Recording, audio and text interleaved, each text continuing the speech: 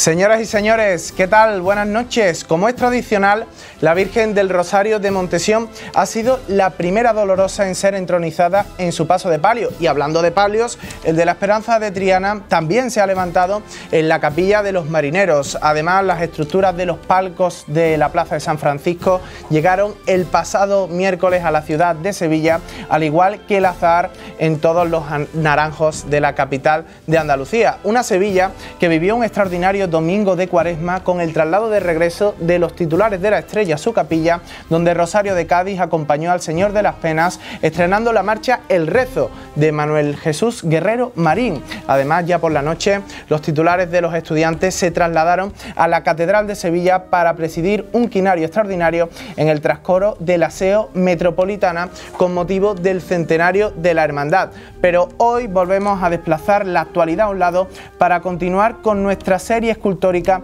que protagonizará esta noche el genio imaginero, escenógrafo, intelectual y empresarial del siglo XX. Quedan tan solo 23 días para Semana Santa. Sin nada más que añadir, bienvenidos al cielo de don Antonio Castillo Lastruzzi. Comenzamos.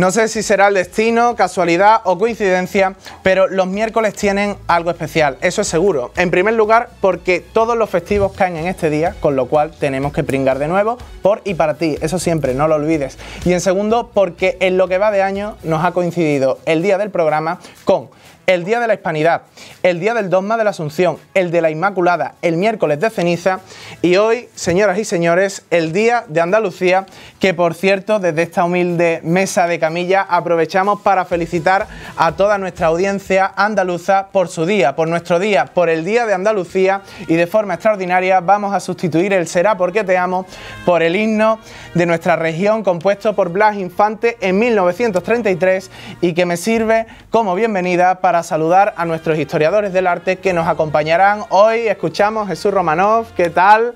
Muy buenas noches en este día de Andalucía. Muy buenas noches, ¿qué tal?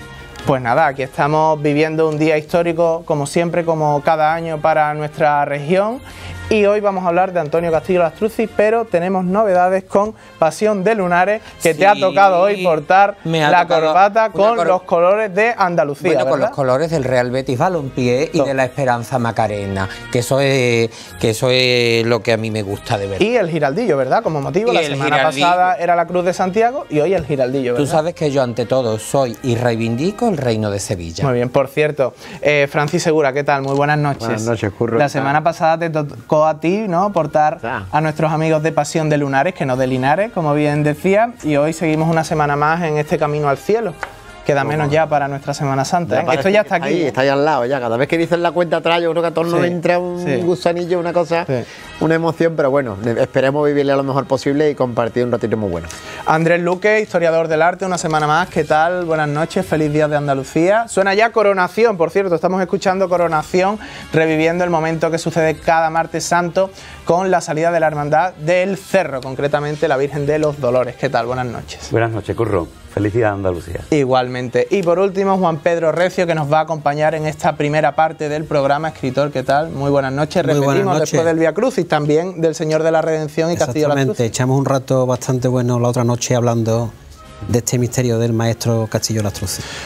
Pues señoras y señores, ya han visto la mesa que nos va a acompañar hoy. Posteriormente, en la segunda parte, estará también con nosotros nuestro historiador del arte, eh, José María Escudero. Y vamos a empezar a hablar de Antonio Castillo Lastruzzi. Hacemos una cronología breve con esta serie escultórica que comenzamos en el mes de enero, hablando del siglo XVII con Juan Martínez Montañés, Juan de Mesa, Pedro Roldán, pasamos al 18, hablando el año pasado de Montes de Oca, el 19 la semana pasada con Juan de Astorga y llegamos ahora sí al siglo XX cuando vuelven nuestros colores de, al cielo corporativos para hablar de, para mí, el genio ¿no? de, este siglo, el que marca la impronta y la estética de la Semana Santa de Sevilla en la actualidad con muchísimos misterios y dolorosas, introduciendo nuevos conceptos, eh, reajustando y rearmonizando las proporciones, el movimiento y al fin y al cabo, una de las personas, uno de los escultores que más imágenes tiene en la Semana Santa de Sevilla. Tanto es así que procesionan ininterrumpidamente desde el Domingo de Ramos hasta el sábado santo, gracias a nuestro eh, referente Antonio Castillo Lastruzzi, al que hoy le hacemos un homenaje, ya que este programa, aunque hoy sea el Día de Andalucía, no se grabó eh, en el día de hoy, no se ha grabado el día 28, ya que es festivo, se grabó ayer, martes 27 de febrero, coincidiendo con el aniversario de su nacimiento. Hoy el maestro tendría 142 años y vamos a comenzar a hablar de él, de un escultor que nace a finales del XIX, que continúa su tránsito prácticamente hasta mitades del siglo XX y que Jesús Romanov tiene un, contexto muy agitado, un contexto fundamental para entender lo que posteriormente haría a partir del primer misterio que le dedica la Semana Santa de Sevilla, que le encarga la Hermandad del Dulce Nombre, que en 2022 cumplió su centenario, ¿verdad? Castillo Lastruz es una persona que generacionalmente le pasa pues como a mí. Él nace, eh, según los profesores González Gómez y Rojas Marco, en 1878. Él se forma en el siglo XIX y no olvidemos que el siglo XIX realmente culturalmente no termina en el año 1900, sino que tenemos que decir que todos los modos y que toda la sociedad y que todo lo del siglo XIX, cuando realmente acaba en 1918 con el fin de la Primera Guerra Mundial, entonces él viene de la España de la Restauración y termina en la España del desarrollismo. Entonces estamos hablando de una persona que le, eh, le cogen a lo largo de su vida una barbaridad de hechos que determinan la propia historia de España la regencia de María Cristina, reinado Alfonso XIII, los felicísimos años 20 donde todo era mentira y todo era un espejismo, eh, la dictadura de Primo Rivera de la que nadie quiere ni oír hablar, eh, la República, la Guerra Civil y posteriormente los años del franquismo. O sea, que él es una persona que es un testigo en primera instancia de todos los hechos que están cambiando España desde el propio siglo XIX hasta, eh, hasta el final, lo que lo va a dejar ya pues, preparada para lo que fue el fin del siglo XX y el inicio del siglo XXI. Entonces, precisamente por eso tenemos que tener bastante en cuenta ese aspecto, que lo, lo, podemos abordar ahora y lo vamos a abordar ahora, tan necesario para su formación, pues porque él es una persona de un siglo, pero que vive en otro. Y, luego eh, Jesús Romanov ¿Qué Semana Santa se encuentra por aquel entonces? Hablamos de que surgen nuevos barrios como el de León en Triana, eh, surgen nuevas cofradías después de la posguerra, eh, las propias hermandades vuelven a sus templos tras las desamortizaciones, eh, hay una regeneración estética de la Semana Santa, también una cierta estabilidad. Él, bueno. este autor, ¿qué se va a encontrar en esta Semana Santa de Sevilla? Porque, por ejemplo, Montes de Oca llega cuando por aquel entonces estaba casi todo hecho, pero en esta ocasión no va a ser así, ¿no? Castillo Lastruzzi vive en vive una Semana Santa en constante cambio como la propia España estaba en ese constante cambio que he dicho. En primer lugar, Castillo la Semana Santa con la que eh, vive su infancia y adolescencia es la Semana Santa que nosotros vemos en las fotos del blanco y negro, la que habían consolidado los duques de Montpensier, la de aquellas hermandades que ya habían dejado de dar vueltas eh, por las parroquias, fruto de la desamortización y que ya se habían consolidado en ellas. Vive esa Semana Santa de las grandes hojas de acanto. Vive después los años del siglo, de, los años 20 sobre todo, de la reorganización y fundación de nuevas hermandades. El caso de la bofeta el caso de San Benito, eh, también vamos a conocer la Candelaria, aunque no sea obra suya, eh, o sea, una oleada de nuevas hermandades que se están fundando. Después vienen los desastres ocurridos con el incendio de San Julián en la República, no en la guerra, los desastres de la guerra y la recomposición de la Semana Santa. Y posteriormente, esa nueva oleada que vamos a tener durante los años de la posguerra de la nueva fundación de hermandades. O sea, vuelve a lo mismo. Él toma una Semana Santa, suelta otra y él es uno de los protagonistas precisamente del cambio. Juan Pedro Recio, Andrés Luque, un apunte más contextual para terminar de completar eh, lo que acaba de relatar Jesús Romanós, ¿no? para poner en pie esos cimientos y ese contexto que luego hará entender la obra que, Castillo Lastrucci ejecuta para la Semana Santa. ¿Algo que comentar para cerrar? Sí, pues yo diría que en ese momento del primer cuarto del siglo XX, en Sevilla en concreto hay establecidas dos grandes tendencias artísticas, en escultura quiero decir. Una es el realismo internacional, derivado de Antonio Susillo, en el que se forma Castillo Lastrucci, y al que pertenecen escultores como Joaquín Bilbao, Lorenzo Cuyos Valera, Viriato Rull, Miguel Sánchez Dal, y por otra parte una tendencia introducida en 1917 por Francisco Marco Díaz Pintado, que es el clasicismo mediterráneo, que van a seguir escultores como Agustín Sánchez Sí, eh, Manuel Echegoyán, Antonio Llanes, Mauricio Tinoco.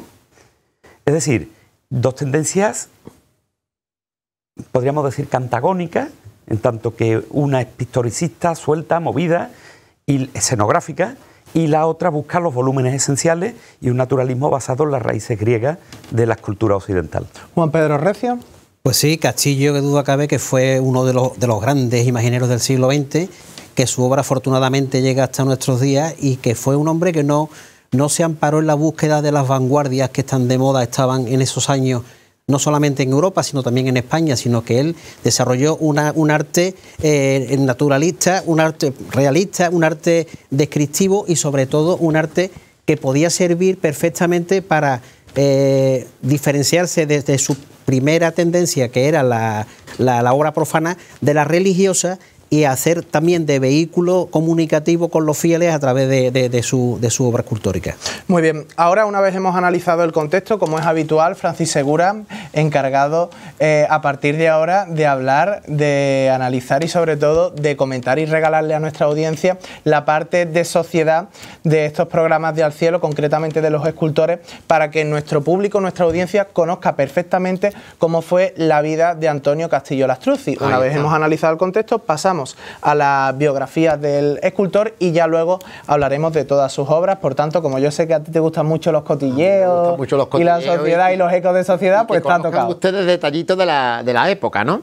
Siempre decimos que cuando uno nace, el día que uno nace, es la estrella que brilla es la estrella que reina en tu vida, ¿no?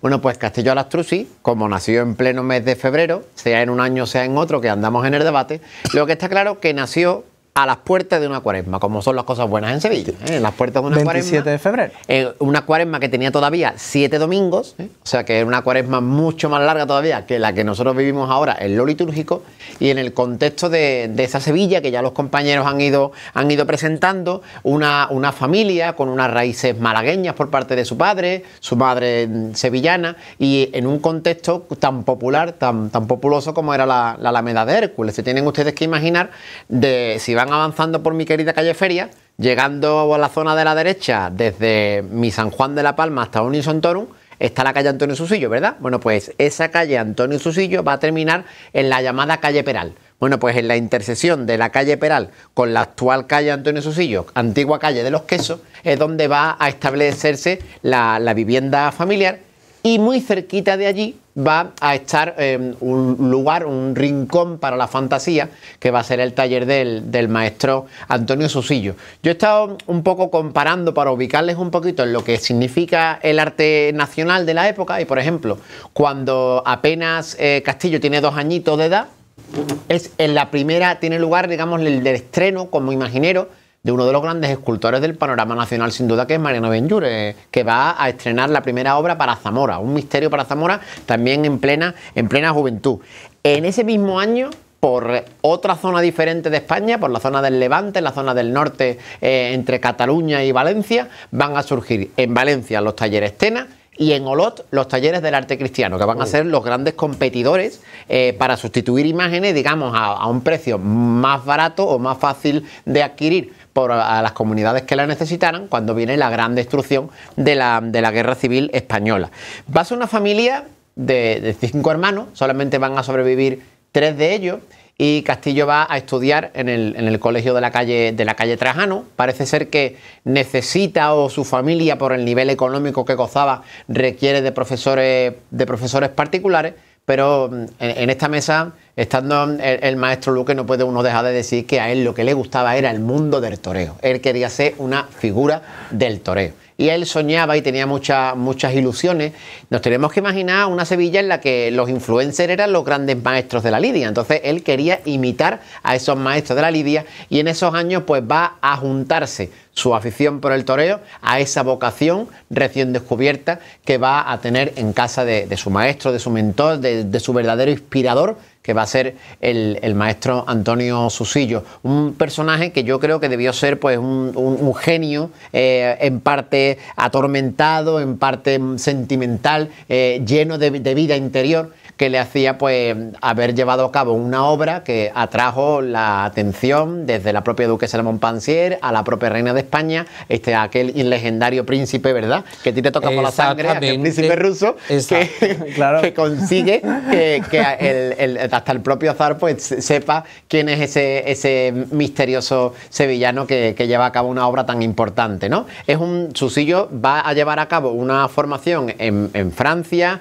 en París, en Roma y cuando viene, yo me imagino ese niño interesado, ese niño, ese castillo joven interesado en su, en su trayectoria. Un castillo que allí va a despertar a, la escultura, que muy pronto eh, va a tener la necesidad de volar fuera del nido de su maestro por la eh, desaparición, por, digamos, por ese suicidio que, que, se provoca el propio Susillo, y a partir de ahí van a empezar diferentes etapas en, su vida y en su trayectoria. Claro, él, vuela eh, hasta París porque allí recibe recibe una beca de la Diputación Provincial para que estudie. También había una segunda Roma que finalmente eh, él no puede asistir hasta allí, se queda en París, posteriormente va a Madrid y allí se forma. ¿No? Exactamente, él, va, él se va a formar entre ese ambiente europeo en el que va a conocer un poco la escultura y en Madrid que va a conocer muy bien la pintura de historia, ¿eh? que es la que también le va a ayudar a él a enmarcar esas escenas. ¿no? Y no nos, podemos, no nos podemos olvidar de la influencia que, va a ir recibiendo ¿no? esos grupos. Yo quería que no nos dejáramos atrás el nombre del escultor Giacometti, no Giacometti el de la G y la I, sino el de J, ¿eh? Giacometti, que va a realizar unas obras muy interesantes de carácter religioso entre ellas un beso de Judas, que más tarde dará mucho que hablar en la trayectoria de Castillo Lastruzzi. Son unos años a la vuelta de ese, de ese gran tour que, hace también él como artista, en el que va a encontrar la oportunidad de abrir ese, ese taller en el que ya se van a congregar obras de carácter civil, de muchos tipos, siguiendo también los pasos de su maestro Susillo, pero va a llegar ese año clave, ese 1923, en el que el misterio de, la hermandad del dulce nombre, o la hermandad de la bofetá, que también la hemos conocido nosotros toda la vida por ese nombre, pues va a cambiar la vida de, Castillo. Hay un primer periodo, a mi entender, que es el periodo de la, previo a la, Primera República, en la que él ya se ha vuelto a casar por, segunda vez porque ha muerto su, primera mujer, ha tenido a, esa hija Amparo que también marcará, marcará su vida y va a ir eh, ampliando, digamos, su trayectoria, su, su arco, digamos, de influencia en la ciudad, estrenándose pues todo tipo de obras. Cuando llega ese receso entre el 31 y el 36, se va a detener un poquito su, su trayectoria, está como en un impasse, en un ralentí, que diríamos en un término de motores, hasta que a partir ya después de la guerra civil ya se divide en diferentes etapas que le llevan hasta 1967 cuando él, él muere. Es muy complicado compendiar la obra Brillante, de, Francis. de este, de este artista. Brillante, Francis. Enhorabuena. Muchas gracias por sintetizar también eh, toda la biografía de Antonio Castillo Lastruzzi, Juan Pedro Recio, Andrés Luque. Para concluir, eh, tenía aquí un dato apuntado y es que él nace en 1882 y hasta 1922 no hace su primer misterio para la Semana Santa de Sevilla, del dulce nombre. Muy brevemente un apunte de cada uno. Hasta entonces él es un escultor civil, ¿verdad? Exactamente. Bueno, había hecho algunas realizaciones para la Semana Santa de Málaga, eh, un misterio del, del beso de Judas, que fue destruido en los, en los sucesos de la guerra civil, y también creo que un San Juan para una población de, de Huelva. O sea que ya había, ya había realizado alguna obra de, de corte religioso, pero es el- la hermandad de la bofetada, cuando ya es un escultor más que maduro, con 45 años, el que le da la, la oportunidad de demostrar la valía que tenía y sobre todo a partir del paso de misterio de la bofeta de Jesús Antena es cuando el resto de hermandades empiezan a confiar sus obras en Castillo, siendo después pues la sentencia, eh, la, la presentación al pueblo y ya después de la Segunda República y la Guerra Civil, pues todas las hermandades que confiaron en él. Un último apunte biográfico de, Sí, de Antonio. bueno, pues eh, Castillo Lastruzzi nació en el 78, no en el 82, como muy bien pudo sacar Jesús Rojas Marco. Y esos cuatro años son fundamentales porque si ajustamos la edad y a la edad que muere eh, Antonio Susillo, le dan margen para haber sido discípulo suyo, como siempre se había dicho. ¿eh? Luego eso es importante. Después, antes de hacer los primeros misterios, como muy bien ha indicado Juan Pedro, el del prendimiento de Málaga es, es uno de los mejores de toda su trayectoria, aunque se perdió en el 32. ¿Se perdió no? Lo quemaron. En el 32 Efectivamente. Exactamente. lo quemaron, aquí no se pierde nada. Eh, después lo vuelven a repetir en el 60 y tanto, pero ya es otra historia, ya no es el mismo misterio. Eh, decir que eh, podemos marcar dos etapas antes de esa amplísima labor para las cofradías. Una primera, juvenil, ¿eh? casi casi infantil, debido a lo pronto que se queda sin su maestro, donde se especializa en el modelado de relieves, relieves de salón, donde hace algún retrato, incluso llega a firmar algún relieve, es tan susillesco que llega a firmar algún relieve como susillo. Pero se han podido identificar, en lo publicó Jesús Rojas Marcos, que, son, que es obra de Castillo Lastruzzi, pese a la firma susillo. Eh, después, una etapa ya eh, con una cierta experiencia, donde va a participar en numerosos concursos de escultura monumental. ¿Eh? Por ejemplo, participa en el de Martínez Montañés, participa en una serie de obras, no le conceden ninguno en Sevilla, salvo el de Benito Más Prat del Parque de María Luisa, que lo realizó en los años 20 y que se conserva ¿eh? en- una glorieta de Aníbal González y, y con un busto en mármol eh, muy representativo de su obra. A partir de ahí, y ya con más de 40 años, como ha dicho Juan Pedro, Te, te añado, Andrés, el premio que recibe en México, en la exposición de arte sacro de México, que le dan Sí. el premio por el centenario de la independencia, que estaba también confundido, pero que está, eh, eh, creo que esa tiene que mm, volar hasta allí para que se reconozca su, su trayectoria, Bueno. pero vamos, es muy poco significativo para todo lo que... Efectivamente, hace también algún retrato monumental, es decir, que se ha utilizado como monumento, como el de eh, Benito Sabio, ¿eh? pero son obras, digamos, pocas y pequeñas en comparación con la gran cantidad de proyectos que preparó y que presentó a concurso. Correcto. ¿Eh? Sin embargo, esa escultura profana que no consiguió colocar, que no consiguió vender, vamos a decirlo así, le va a dar una gran experiencia. Cuando le llegue la oportunidad con las cofradías, no la va a dejar pasar.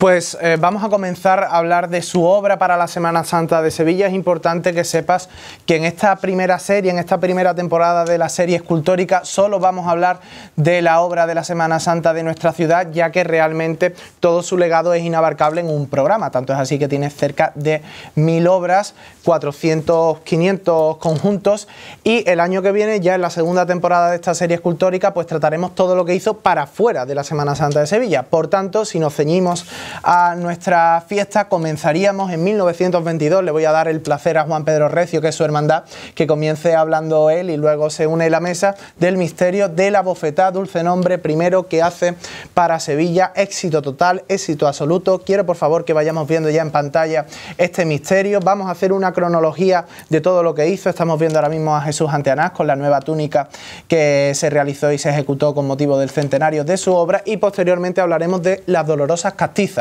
Pero primero hacemos la cronología de los misterios.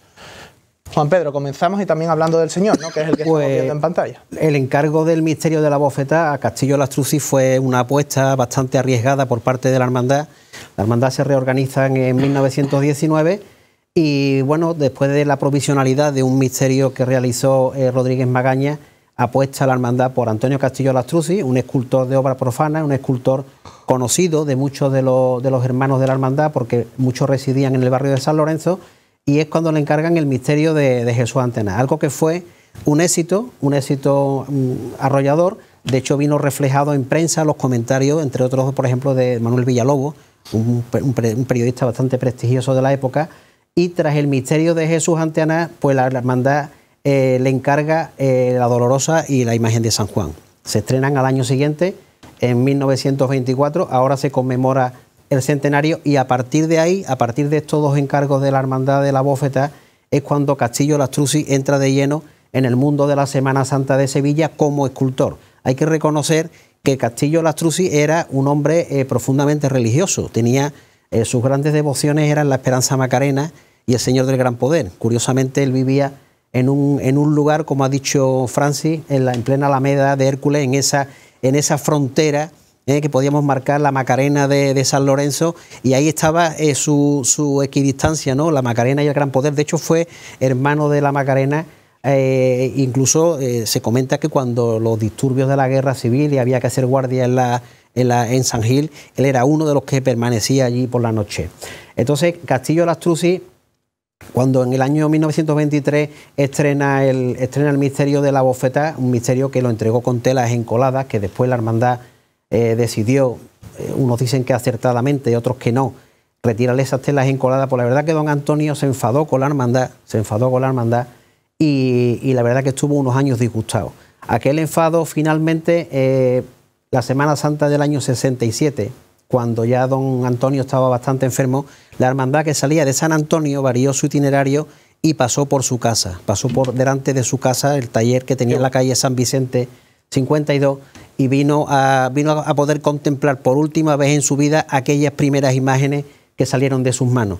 Así que tuvo un buen, un buen final. ¿eh? Y, y bueno, pues mira, lo que, lo que, el enfado que él tuvo con la hermandad, al final se susanó aquel martes santo del año 67, contemplando por última vez a Jesús ante Ana, el misterio de la bofeta y a la Virgen del Dulce Nombre por delante de su casa. Muy bien, por cierto, estamos viendo, como decíamos en pantalla, estas imágenes de estudio, este reportaje fotográfico del eh, señor ante Anás en el momento de la bofetada de Marco y vamos a hablar, eh, después de haber analizado la historia de este primer encargo, estamos viendo una de las primeras fotografías eh, con la que, bueno, el Cristo se presentó, el Cristo llegó a San Lorenzo y vamos a hablar de las características técnicas de los grafismos que se introducen en esta obra, vuestra la palabra, compañeros. Hay una cosa muy interesante y en esta fotografía se ve bastante bien, por cierto, que es, en primer lugar, la, propia configuración del Cristo, incluso en tanto en cuanto a la vestimenta.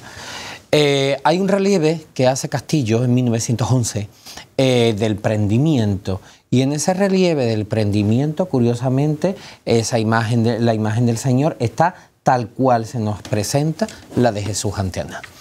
Eh, Castillo Lastrucci aquí es cuando introduce y rompe por primera vez con, por primera vez desde el barroco, por cierto, con lo que es el misterio que se llevaba haciendo pues eh, neoclásico desde el siglo XIX. Es decir, dos hileras en paralelo y la figura central en el, eh, en, en el medio.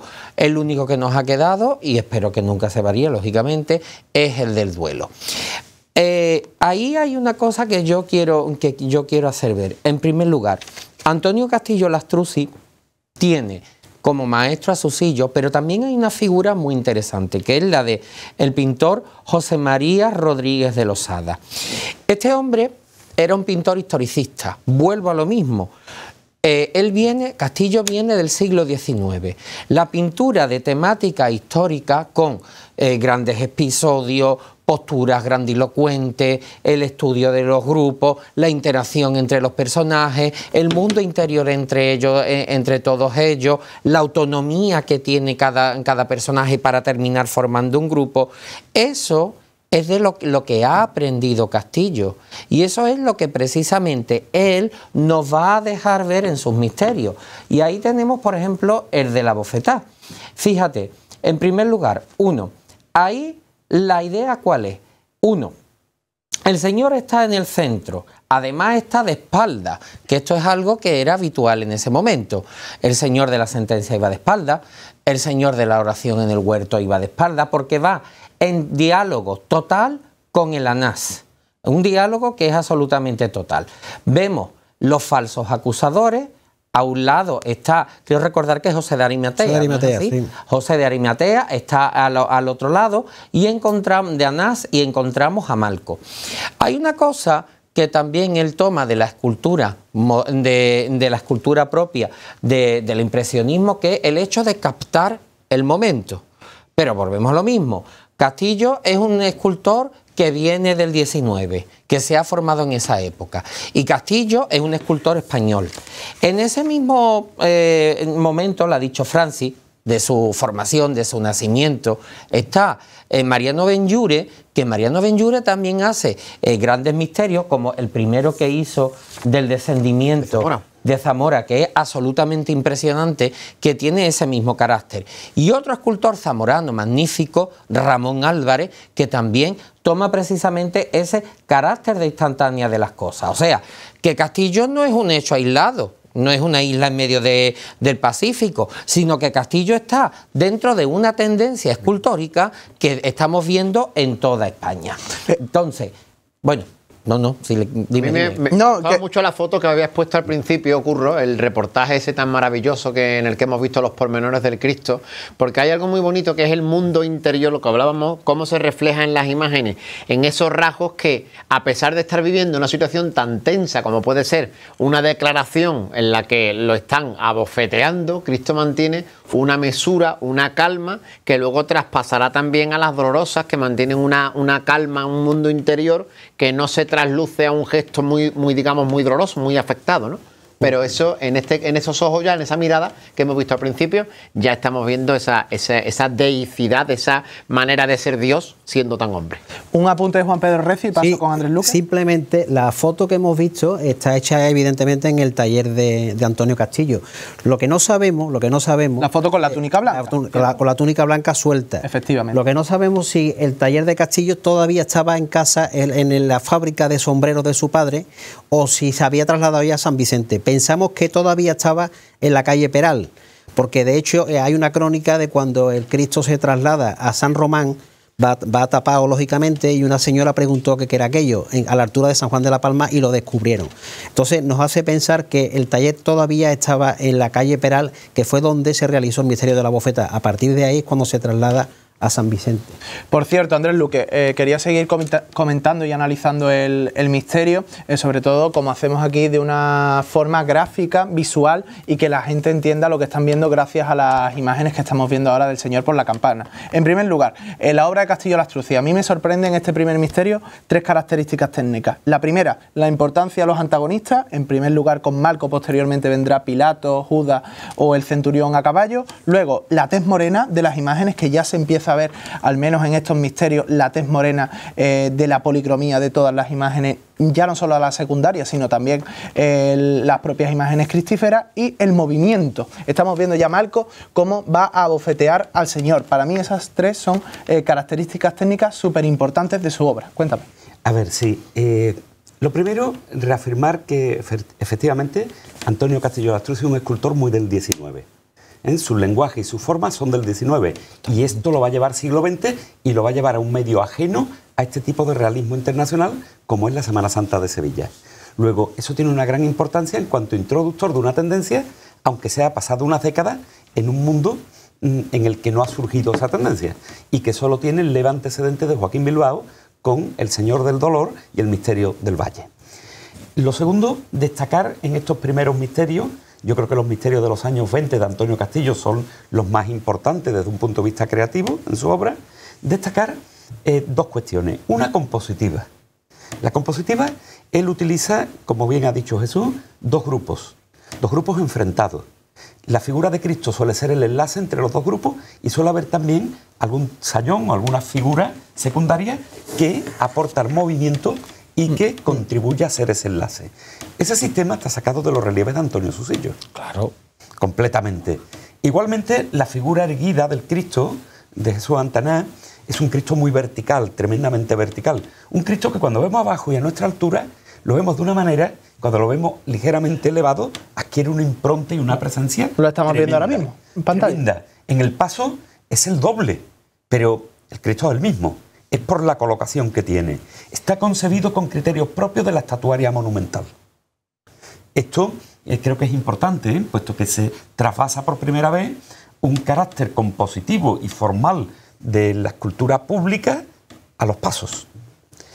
Y después, técnicamente, hay que tener en cuenta cómo lo ha hecho, puesto que es, eh, es un grupo, los tres que, de, los años 20, es decir, Jesús Antaná, eh, Presentación al Pueblo y Sentencia de Cristo, son grupos en técnica mixta, con unas partes talladas y otras modeladas.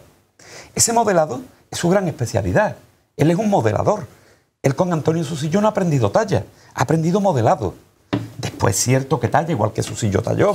Y es cierto que va a desarrollar una labor imaginera importantísima. Mm. Pero eso no quita para que tenga una habilidad excepcional en el modelado.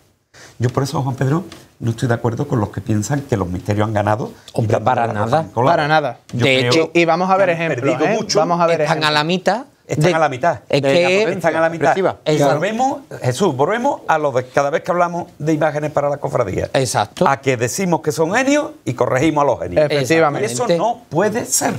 Así de claro. Al quitarle las partes modeladas, que sí conserva la presentación al pueblo, indudablemente estamos viendo a Castillo Lastrucci en plenitud. ¿Eh? Como se puede ver, por ejemplo, en el grupo de la Piedad, que está en su sepulcro, en su en tumba, San Julián. en la iglesia de San Julián. Todos los escultores prefieren la talla completa, todos sin excepción. Cuando trabaja Enrique Pérez Comendador, que antes no lo hemos citado, pero trabaja desde Sevilla y hace grupos como el Santo Entierro de Santander, lo hace de talla completa. Cuando Antonio Llanes hace el de La Paz, es de talla completa. ¿Toda la obra de la Astrucia es de talla completa o la mayoría de ellas? No, que Los prácticamente misterios- todas, los misterios todos. Todos los misterios. Todos, Quitando, todos. yo creo que el, de- el del beso de Judas sí lo hace ya para vestir, creo recordar. Sí, el beso sí. de Bueno, Judas. los apóstoles de- finales. los apóstoles de Montesión, ¿no? Los apóstoles de Montesión, y po- pero poco más. Pero lo- los misterios de los años 20, 30 y 40 son de, de talla completa, son técnicas mixtas. Unas partes talladas, otras modeladas. Y las modeladas son de una soltura tremenda. Y además le acaban de dar sentido a esas composiciones tan monumentales, tomadas de la estatuaria profana. Es decir, que eso lo, lo completa. Además, el juego de movimiento lo completa son modelados, que una tela no le puede dar. Hay una pintura, Claro. Hay una pintura muy interesante que yo siempre he dicho que Castillo la tuve que conocer, que, mm, que es la de que es la de el entierro de San, de San Sebastián. ¿no? Ahora mismo no es que se me acaba de venir a la cabeza. Bueno, pues todo este tipo de pinturas del 19 en las cuales las escenas de la antigüedad romana, ya sean de los mártires o ya sean de los emperadores o ya sean de cualquier ese tipo de, de- escenas de género de la vida cotidiana en Roma, eso Castillo lo, está, lo conocía perfectamente. Y eso esos drapeados que nosotros vemos en la, en la pintura es lo que Castillo después eh, trazaba con las telas encoladas. Por lo tanto, hemos perdido desgraciadamente. Muchísimo.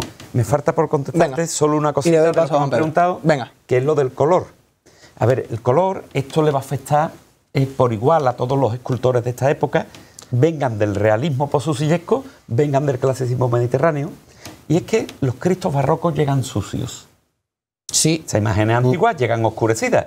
Entonces, ellos las oscurecen porque el devoto y el espectador en general está acostumbrado a imágenes oscurecidas. Se creen que son oscuros. Por eso Antonio Llanes da esas, o los pintores que trabajan para Antonio Llanes, dan ese tono tostado, trigueño, y por eso Castillo Lastrucci... Esa tez morena de la que hablábamos. Esa tez morena. Pero cuidado con otra cosa. que tenemos que decir también.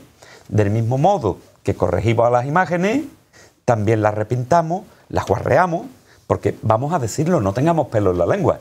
La inmensa mayoría de imágenes que están rematadamente sucias es porque las han ahumado. Hombre. Porque le han dado humo a través de aceite o le han dado betún de Judea. Es decir, es que nos gusta la imagen sucia, lo que quiere decir que no nos gusta cómo la han hecho. Puesto que si realmente nos gusta cómo está hecha una obra de arte, No la no la vamos a tocar. ¿eh? Luego, una de dos. O paramos ya esto y dejamos ya el intervencionismo sobre las imágenes en función de la moda y de lo justo, o nos cargamos nuestro patrimonio. Castillo Lastrusí se dio de baja de la Hermandad de la Macarena cuando le desmontan, y eso que había sido uno de los que se jugó la vida por la Virgen. Pero después, cuando le destrozan su misterio, el disgusto fue tan grande que se borró de la nómina de hermano. Y en San Lorenzo no se borró porque no era hermano, Claro. pero no volvió a entrar, ni para ver Señor del Gran Poder, que era tan devoto. Bueno, el Señor se lo llevaron ¿eh? y ya no tuvo. Pero su disgusto era tan grande, tan grande, tan grande, que se apartó de esas cofradías. Tengamos en cuenta que Antonio Castillo Lastrucci, y esto no lo hemos dicho, era un escultor cotizado, un escultor con renombre, un escultor respetado por los escultores. Propio Antonio Llanes le daba tratamiento de maestro. Sí, señor. ¿eh? Es decir, que estamos hablando de una primera figura a la que en vida y en plenitud, porque se le desmontan los misterios en los años 50. Es decir, pues 15 años antes de fallecer. Evidentemente no lo puede llevar bien. Juan Pedro Recio, concluyes el misterio de la bofetada. Simplemente decir que estoy de acuerdo con las telas encoladas, que aquello fue una cosa que no, no debía de haberse producido, ¿no? Pero no vamos a echarle la culpa a nadie y mucho menos meternos en, la- en las actuaciones de aquella época. Lo que sí es verdad que si vemos las fotografías antiguas, las imágenes son, a excepción de Malco, son todas bastante estáticas. Pero la, la de Malco se veía un vuelo en la túnica de- del sayón, se veía un movimiento que eso con las telas, o sea, con la, con la ropa actual que lleva, la ropa que, que tiene ahora mismo Malco, en absoluto se parece a aquella, aquella concesión fabulosa de Antonio Castillo Lastrucci. Yo Pues, digo que para tela volada, la de Claudia Próculo de San Benito. que es una de Pues- las mejores que, que- Pues que hay. va- vamos a verla, un Sí, segundo. de acuerdo. Pero un segundito nada más. Pero sí sabemos que las quita, ¿eh? Porque en el dulce nombre y en la Macarena las quita la misma persona. La misma persona. Y, y- y hay que decirlo, porque si no, no seríamos buenos historiadores. ¿eh? Las quita Juan Pérez Calvo. Exacto. Es el responsable de la y retirada además de la lo, ropa. lo que le dolió a Castillo es que no, no, no se lo, ni siquiera se lo comentaron. Ni siquiera. No. Además, le dolió mucho a Castillo que intervinieran algunos empleados de su taller. Sí. 1928, yo lo siento, no voy a ser objetivo, es imposible, con esta obra es imposible. Para mí, la mejor talla cristífera, el mejor misterio de don Antonio Castillo Lastruzzi, el señor de la presentación al pueblo de la Hermandad de San Benito. Y les dejo con estos historiadores que hoy están haciendo uno de los mejores programas de la historia de este espacio televisivo para hablar en primer lugar del titular y luego del misterio. Ya en, mil- ya en 1925 hemos hablado de, de su etapa, esa etapa malagueña, había realizado el misterio del Santo Suplicio, nuestro Sí. Padre Jesús del Santo Suplicio, que es como una- un antecesor de lo que estamos viendo nosotros en, en San Benito. Y ya esa imagen tenía unas telas encoladas, movimiento en la túnica verdaderamente maravilloso. Sin duda, cuando la hermandad de San Benito resurge de sus cenizas, aquella hermandad venida desde Triana, emigrada desde Triana a la Carzá, y se da cuenta de en qué realidad está, es cuando le encarga a Castillo este que es el segundo y el segundo gran misterio, sin duda, de, de Castillo, de un Castillo que todavía trabaja con plena eh, independencia, e implicándose en la elaboración de todas las imágenes y dándole pues una, una personalidad verdaderamente magistral a todas las, las miradas, a los gestos, a las actitudes. Y ahí tenemos a Chiseri, al pintor que, que en, Lo en vamos a ver. Tiene, tiene aquel, aquella fantástica obra. Características técnicas, por favor, de la obra. Es interesante, en primer lugar, eh, hablar de cómo Castillo aquí vuelve a los dos grupos. Es decir, el primero eh, en el cual aparece el señor con eh, que está presentado a Sevilla, como dice la, la marcha que escribió un compañero mío de carrera, por cierto. Ah, qué bueno. eh, por, el, eh, por el propio Pilato y vuelvo a esos gestos grandilocuentes y declamatorios tan propios de la, de la pintura historicista. Y después, en el segundo grupo, bueno, en el que vemos a los romanos, quizás después de- del conjunto del Cristo con el Pilato, la Claudia Procula con la esclava. Ojo, ahora a pesar de que se han conservado las telas encoladas, tampoco están originales, puesto que la Claudia Prócula y la esclava fueron, eh, ¿cómo se llama? Fueron estofadas a posteriori. En cuanto a la espalda, eh, mira, hay dos cosas que yo digo. Uno, este Cristo es una maravilla. Es más, eh, hay ciertos ecos, mm, Castillo Lastrucci, lógicamente, él conocía la estatuaria sevillana. En la mirada del Cristo hay ciertos ecos del Cristo de Agustín Perea, de la Hermandad del Valle, de la Coronación de Espina. Después tenemos un gran estudio anatómico. Efectivamente. Y ojo, Talla yo- completa. Es una talla completa. Y ojo, yo siempre digo una cosa. El Cristo que sustituyó, porque siempre se habla de la imagen anterior mm, como mala talla. Yo personalmente que he tenido oportunidad de verlo de cerca, no era una mala talla. Así que es verdad que esta que tenemos es impresionante, imponente y que lógicamente cumple todo lo que debe de tener una imagen. Si hay- cuando alguien me pregunta que qué es la unción sagrada, pues ahí lo están ustedes viendo. Andrés Luque. A ver, a mí me parece el mejor Cristo de Antonio Castillo. El mejor. Con diferencia. El mejor. ¿Eh? Y el tercer gran misterio, no el segundo, hay que contar el de Málaga, no lo Sí, olvidemos. es verdad. Sí, para la Semana Santa de Sevilla. Segundo para Sevilla. Eh, me parece un Cristo fantástico, compositiva, formal y técnicamente. ¿eh? Creo que, que tiene un nivel eh, bueno, que marca lo máximo en la producción de la Astruci. Eh, yo lo, re- lo relaciono formalmente con el Cristo, recordad la espalda, con el Cristo del Dolor de Joaquín Bilbao para Cierto. la Hermandad de la Cigarrera. ¿eh? Es ese eh, tipo de expresión fuerte, contundente, que tiene una influencia directa de Rodin. Hombre, claro. No olvidemos que este movimiento artístico que deriva de Carpó, pero que se eh, desarrolla y evoluciona en paralelo con la obra de Rodin en París. Cuando Salsillo va a París, Rodén está en Claro, la cúspide de en la, carrera. cúspide. Yo, claro. Perdón, Salsillo. Salsillo. Claro, Salsillo. Castillo. Claro, evidentemente, eh, Rodin está en la cúspide y es una influencia importante que además, aunque es cierto que aquí eh, el misterio tiene una influencia en la composición directa de, de la pintura de historia, Ahora lo veremos, ¿eh? Ahora vamos como a ver el lienzo. citado a, a César y eh, Francis, tiene una influencia directa del cine, de las películas Totalmente. de esta época. Eh, es decir, que hay muchos referentes. Y un Cristo más sangriento que otros, ¿verdad? Sí, pero, lo estamos pero viendo en pantalla, su, su pero perfil. también hay una relación directa con los movimientos en torno eh, a una figura de Rodin.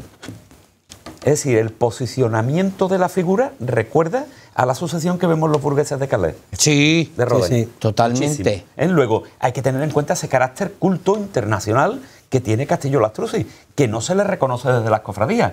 Entre otras cosas, porque muchas veces lo han etiquetado mal como un neobarroco. Castillo Lastrucci, vamos a decirlo claro y alto, no fue un neobarroco, no tiene nada de barroco. Incluso cuando, con el Cristo de la Buena Muerte de la Hermandad de, de la Iniesta, eh, acuda a los modelos del 17, los va a interpretar con unos criterios formales propios del 19, contemporáneos, claro, de un movimiento que se prolonga hasta la exposición iberoamericana de 1929. Luego, es llevar a lo contemporáneo y no a la repetición de la escultura de otra época. ¿eh? Eh, ese carácter sangriento, insisto, está en el Cristo del Dolor, se ve por detrás, no por delante, pero tiene un sentido. Fijaros bien, hemos hablado de grupos enfrentados, ¿verdad? Sí. El de Jesús Antana y el de la sentencia serían paralelos. Cristo en el centro y volteado. Aquí no, aquí Cristo no va delante, delante va Poncio Pilato. Luego el primer grupo enfrentado somos nosotros, los espectadores, con Poncio Pilato que nos ofrece a Cristo. Luego está jugando con lo virtual. Eso ya es de una modernidad tremenda, haciéndonos partícipes de la escena. Y eh, Cristo sirve de enlace con lo que va detrás. Pero claro, Cristo no puede ser un enlace, tiene que ser la figura principal. Por eso tiene que potenciar esos rasgos pasionistas, porque no puede quedar diluido entre el resto de figuras. Es decir, le está dando protagonista, protagonismo mediante el sufrimiento que padece y mediante esa tensión corporal. En definitiva, una obra maestra en composición y una obra maestra en ejecución. Y ahora estamos viendo en pantalla el lienzo de Antonio Casari en el que se inspira claramente Antonio Castillo Lastruzzi para tallar, diseñar y ejecutar el misterio de San Benito. Vuestra es la palabra de nuevo. Sí, a ver, eh, esta composición ya la hace para la Hermandad de la Macarena en uno de los relieves con los que reforma el canasto antiguo. Sí, señor. Ese relieve se conserva y eh, Antonio Castillo introduce en el mismo incluso las columnas. Lógicamente en un misterio no puede poner las columnas y en un relieve hay un punto de vista y no hay multiplicidad visual. Es decir, que para el misterio San Benito lo va a completar, le va a dar un carácter lineal para ajustarlo al, al canasto y por lo tanto es tremendamente original. Pero que ya había ensayado aquí. ¿eh? Y añadir también que este misterio va a ser el de más éxito de Castillo hasta tal punto que va a ser demandado por cofradías de toda la península. Normal. Así tenemos, por ejemplo, el S. Homo de Alicante o tenemos el S. Homo de San Fernando, el de Alicante es de 1954, el de San Fernando es del 66-67, se entrega ya fallecido Castillo, donde la figura de Pilato y la figura de Cristo coinciden con los de San Benito. Después hay algunos, algunos cambios, no son exactos los misterios, pero las figuras principales sí, y por lo tanto el diálogo y la escenografía es la misma. De Incluso hecho- en Estados Unidos también había algo de, Sí. de Cristo Sí, de la presentación. Una copia del Cristo ¿eh? de la presentación O sea había en Estados Unidos. Una Se proyección dice- internacional. Se dice que estaba en la Catedral de San Patricio, pero en la actualidad, por lo visto, no hay nada por allí. Mm. Por, eh, Obviamente. Por favor, mira esa imagen de Poncio Pilato que se sale Que del se paso. sale, efectivamente. Es que él- eso lo introduce él, es que es un genio conceptual. Claro, Es que además- introduce nuevos y además, conceptos. fijaros el modelado claroscuro tremendo que tiene el modelado. Increíble. El empaque, el impacto ¿eh? que tiene. eh, Volvemos a la lo imagen. mismo, los claroscuros, eso es una cosa muy propia de la, de la, de la escultura impresionista. Es que vamos Sí. a ver, se nos olvida que este hombre había estado en París, se nos olvida que este hombre había estado también en Madrid y se nos olvida que este hombre era un gran conocedor de la escultura. Y mira Claro, que Y el barro y las telas encoladas las, perdón, las maneja con criterios pictoricistas. Es decir, dejando las superficies muy sueltas, muy movidas, ¿eh? Con muchas rugosidades y contrastes de textura. Y eso le da un enorme valor. Por supuesto, la caída de una tela no puede tener la plasticidad de, de la obra modelada. Y Claudia, Claudia. Prócula ¿eh? es buena talla. Ahí. Sí, sí. Son todas magníficas. Sí, pero Claudia Prócula, sobre todo, es verdad, es La otra de, expresión- la- la expresión las de Claudia Prócula. además de Pilato, que es como para la Roldana su ángel de Montesión. Es que muchas veces hablamos de los secundarios de Castillo, pero las secundarias de Castillo también hay que tenerlas en cuenta, ¿no? Porque Claudia Prócula, la, la sirvienta que va con ella, la mujer que va con los niños en el paso de la Esperanza de Triana. La Magdalena de o- o- Bielsa. o la- o la- exactamente. Exacto. Son, impresionantes. Sí, bueno, es que de una vez por todas tenemos que decirlo sin complejo. Antonio Castillo fue un magnífico escultor. Es que lo fue. Fue un escultor de, de un gran nivel. El mejor que del siglo XX, una escuela determinada y que la lleva a sus últimas consecuencias y la trae a la Semana Santa. Y eso pues tiene una importancia. De hecho, de hecho eh, será después de muerto él, será después de muerto él, cuando empiece a surgir esa propaganda anti-Castillo que la seguimos soportando en la actualidad. Porque Sí. eso es una cosa que se sigue escuchando. Y sobre todo es porque el concepto de, de- de la escultura de Castillo no está entendida. Y aquí hay una cosa que yo quiero decir precisamente a cuenta de eso. Vamos a ver. Pero, ah, pues, sí, sí, que sigue, sí, por favor. Cuando Castillo se forma, vuelvo otra vez al siglo XIX al fin y al cabo, ¿vale? Vuelvo otra vez al siglo XIX, no existía esa idea que nosotros vemos en la actualidad de lo guapo que es todo el mundo. Es decir, hoy nosotros, todos los romanos tienen unas, eh, l- los romanos unas caras preciosas, unas anatomías muy viriles y musculadas y unos gestos eh, muy teatrales. Las mujeres, las mujeres son todas guapísimas, eh, son todas absolutamente de pasarela. Castillo viene de un mundo en el cual eso no importa, porque el que de verdad tiene que ser guapo es ese que está ahí. ¿Por qué? Volvemos a lo mismo, eso está heredado del barroco. El hecho de la belleza, identificarla con la bondad y la fealdad, identificarla con la maldad. Y aparte, la figura secundaria nunca se le daba más importancia que ese hecho. ¿Te refieres a los romanos, por ejemplo? Vamos a Me hablar refiero claro. a los romanos, no, me refiero a estamos todos. viendo ahora mismo una en Pero a pantalla. ver, por favor, los romanos que se critican mucho, los romanos de Castillo están esquematizados. Exacto, es que no hacía falta más. Y además le quita la vida. Es decir, hay un planteamiento simbólico. Los romanos Le quita la vida Claro, totalmente. Esto los es una locura, señores. no Esto es una locura lo que está pasando aquí. no son protagonistas de esto, son testigos que están ahí, por eso los despersonalizan. Están ausentes de la es una- escena. Están Están ausentes de la ausentes. escena. Esto es una historia entre hebreos en la que tiene que intervenir Poncio Pilato, pero Castillo lo marca así, el soldado romano. Es más, es más Andrés, eh, es que los soldados romanos que aparecen en los pasos no entenderían el diálogo entre, entre, los, entre, los, entre los judíos. Claro, claro. Era un idioma diferente. Tienen que llegar los romanos del prendimiento ya en el 45 Claro. para que tengan algo de vida, Algo de vida. algo de actitud. Pero esa falta, son- esa falta de vida, cuando es capaz de representar la vida como lo está haciendo las otras figuras, evidentemente es algo adrede. Intencional. Y vuelvo a lo intencionado, mismo. queriendo. Y vuelvo a lo mismo. El misterio, en primer lugar, uno, hay que entenderlo en su propio conjunto, porque al final es ese resultado final que es lo que lo hace brillante, porque no tiene otro nombre. Pero después hay una cosa muy interesante que dice el profesor Roda, que es el hecho de cómo Castillo sabe darle a cada personaje, a cada personaje, incluido también a los secundarios, ¿no? Unos más que a otros, pero sabe darle un, un movimiento y hacerlo también actores, ¿no? Ahí donde más se ve sobre todo es uno en el Pilato y dos en el misterio de la, o sea, perdón, en el grupo de la Claudia Prócula con la esclava.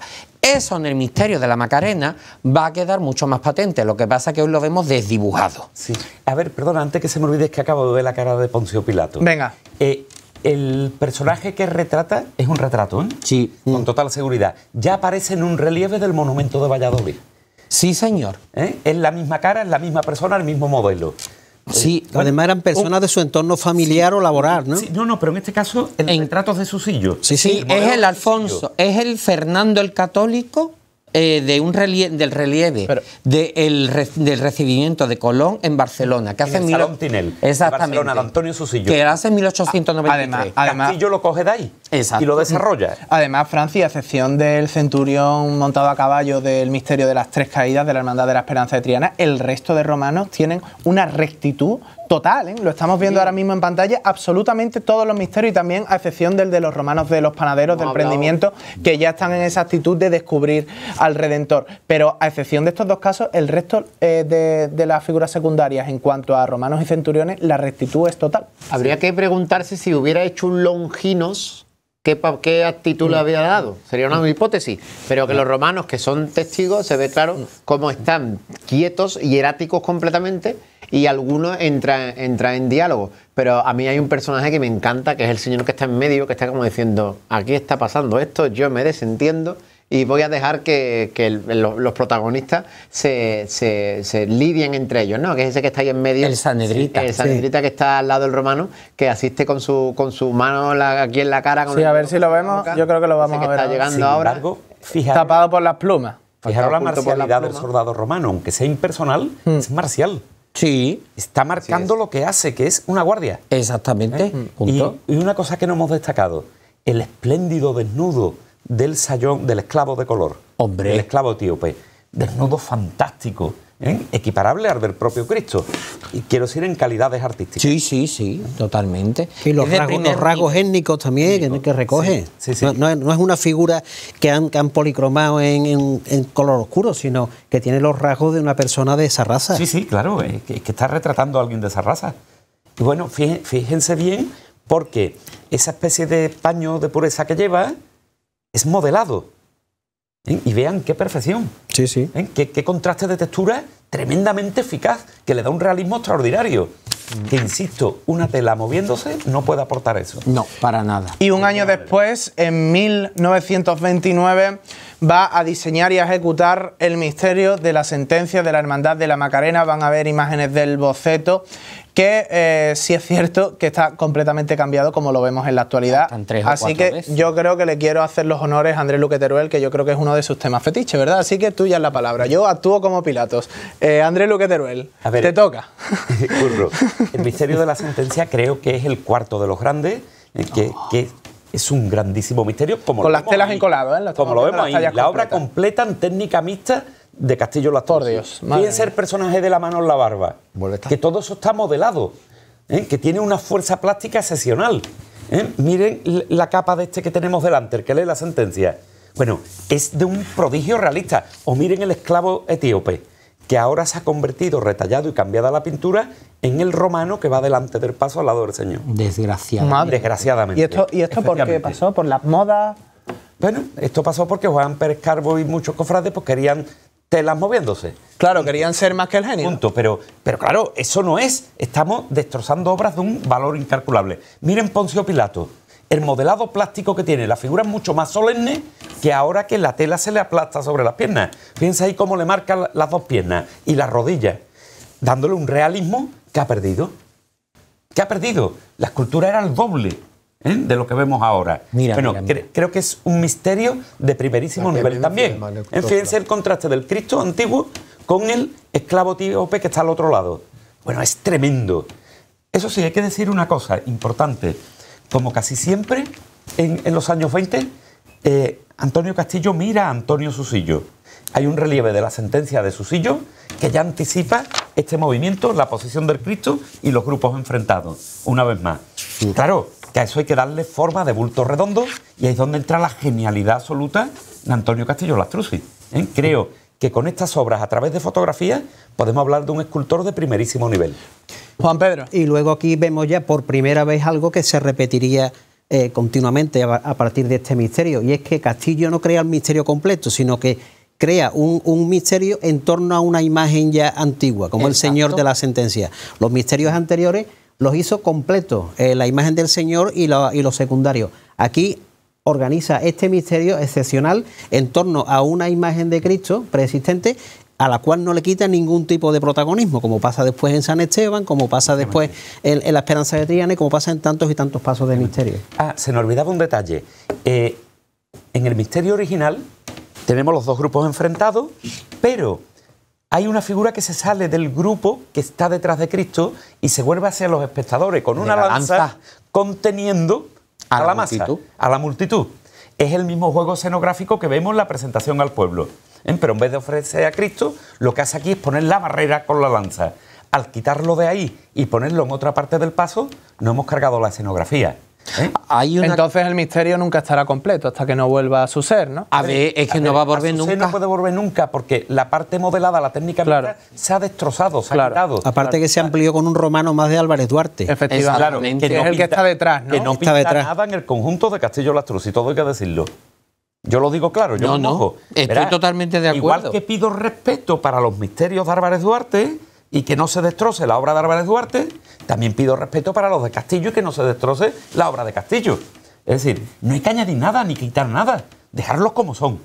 ¿eh? Además, poniendo al Cristo delante, que es una moda muy de la segunda mitad del siglo XX, una moda que conviene a los costaleros y a las escenografías de los costaleros, nos hemos cargado por completo el, el- el sentido trágico que tiene la escena.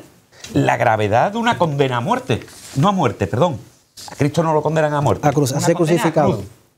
Una condena a cruz que es mucho más grave y que implica que además se muera en la cruz. Yo es que pienso. Últimos aparte, apuntes, Jesús. yo es que que muera por sí mismo. Por sí mismo, claro. Yo es que pienso que el misterio de San Benito tuvo que ser una cosa de tal impacto con ese Cristo delante, que eso es lo que hace, que actúa como revulsivo para que el resto haga lo mismo.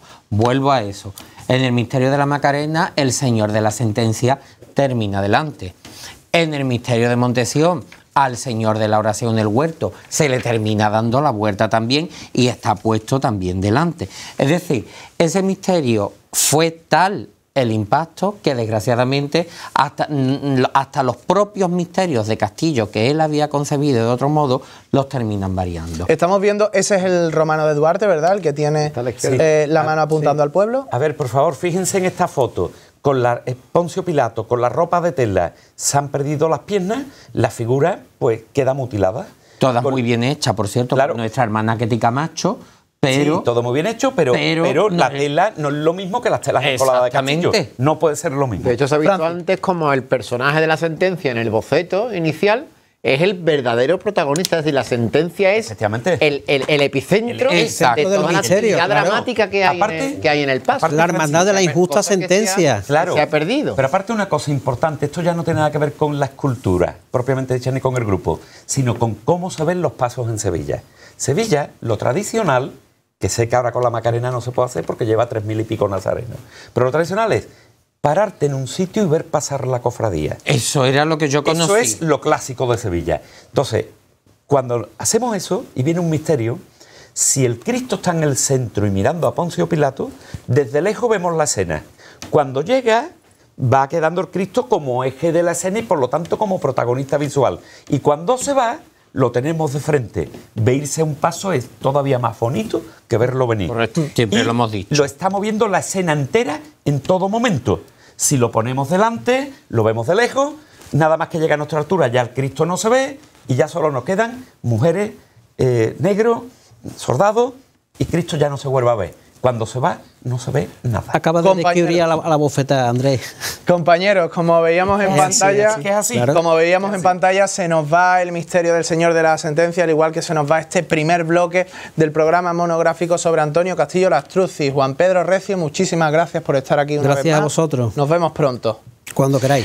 Y aquí en 101 vamos a seguir hablando en tan solo tres minutos de Antonio Castillo Lastruzzi con toda la obra que queda por analizar, pero eh, Jesús Romanós, querías añadir algo para irnos a publicidad, ¿verdad? Sí, yo como decía Mairán el 1, 2, 3, una pausa para la, una pausa para la publicidad y volvemos enseguida. Pues ya lo saben, en tres minutos estamos aquí de nuevo, en Al Cielo de 101.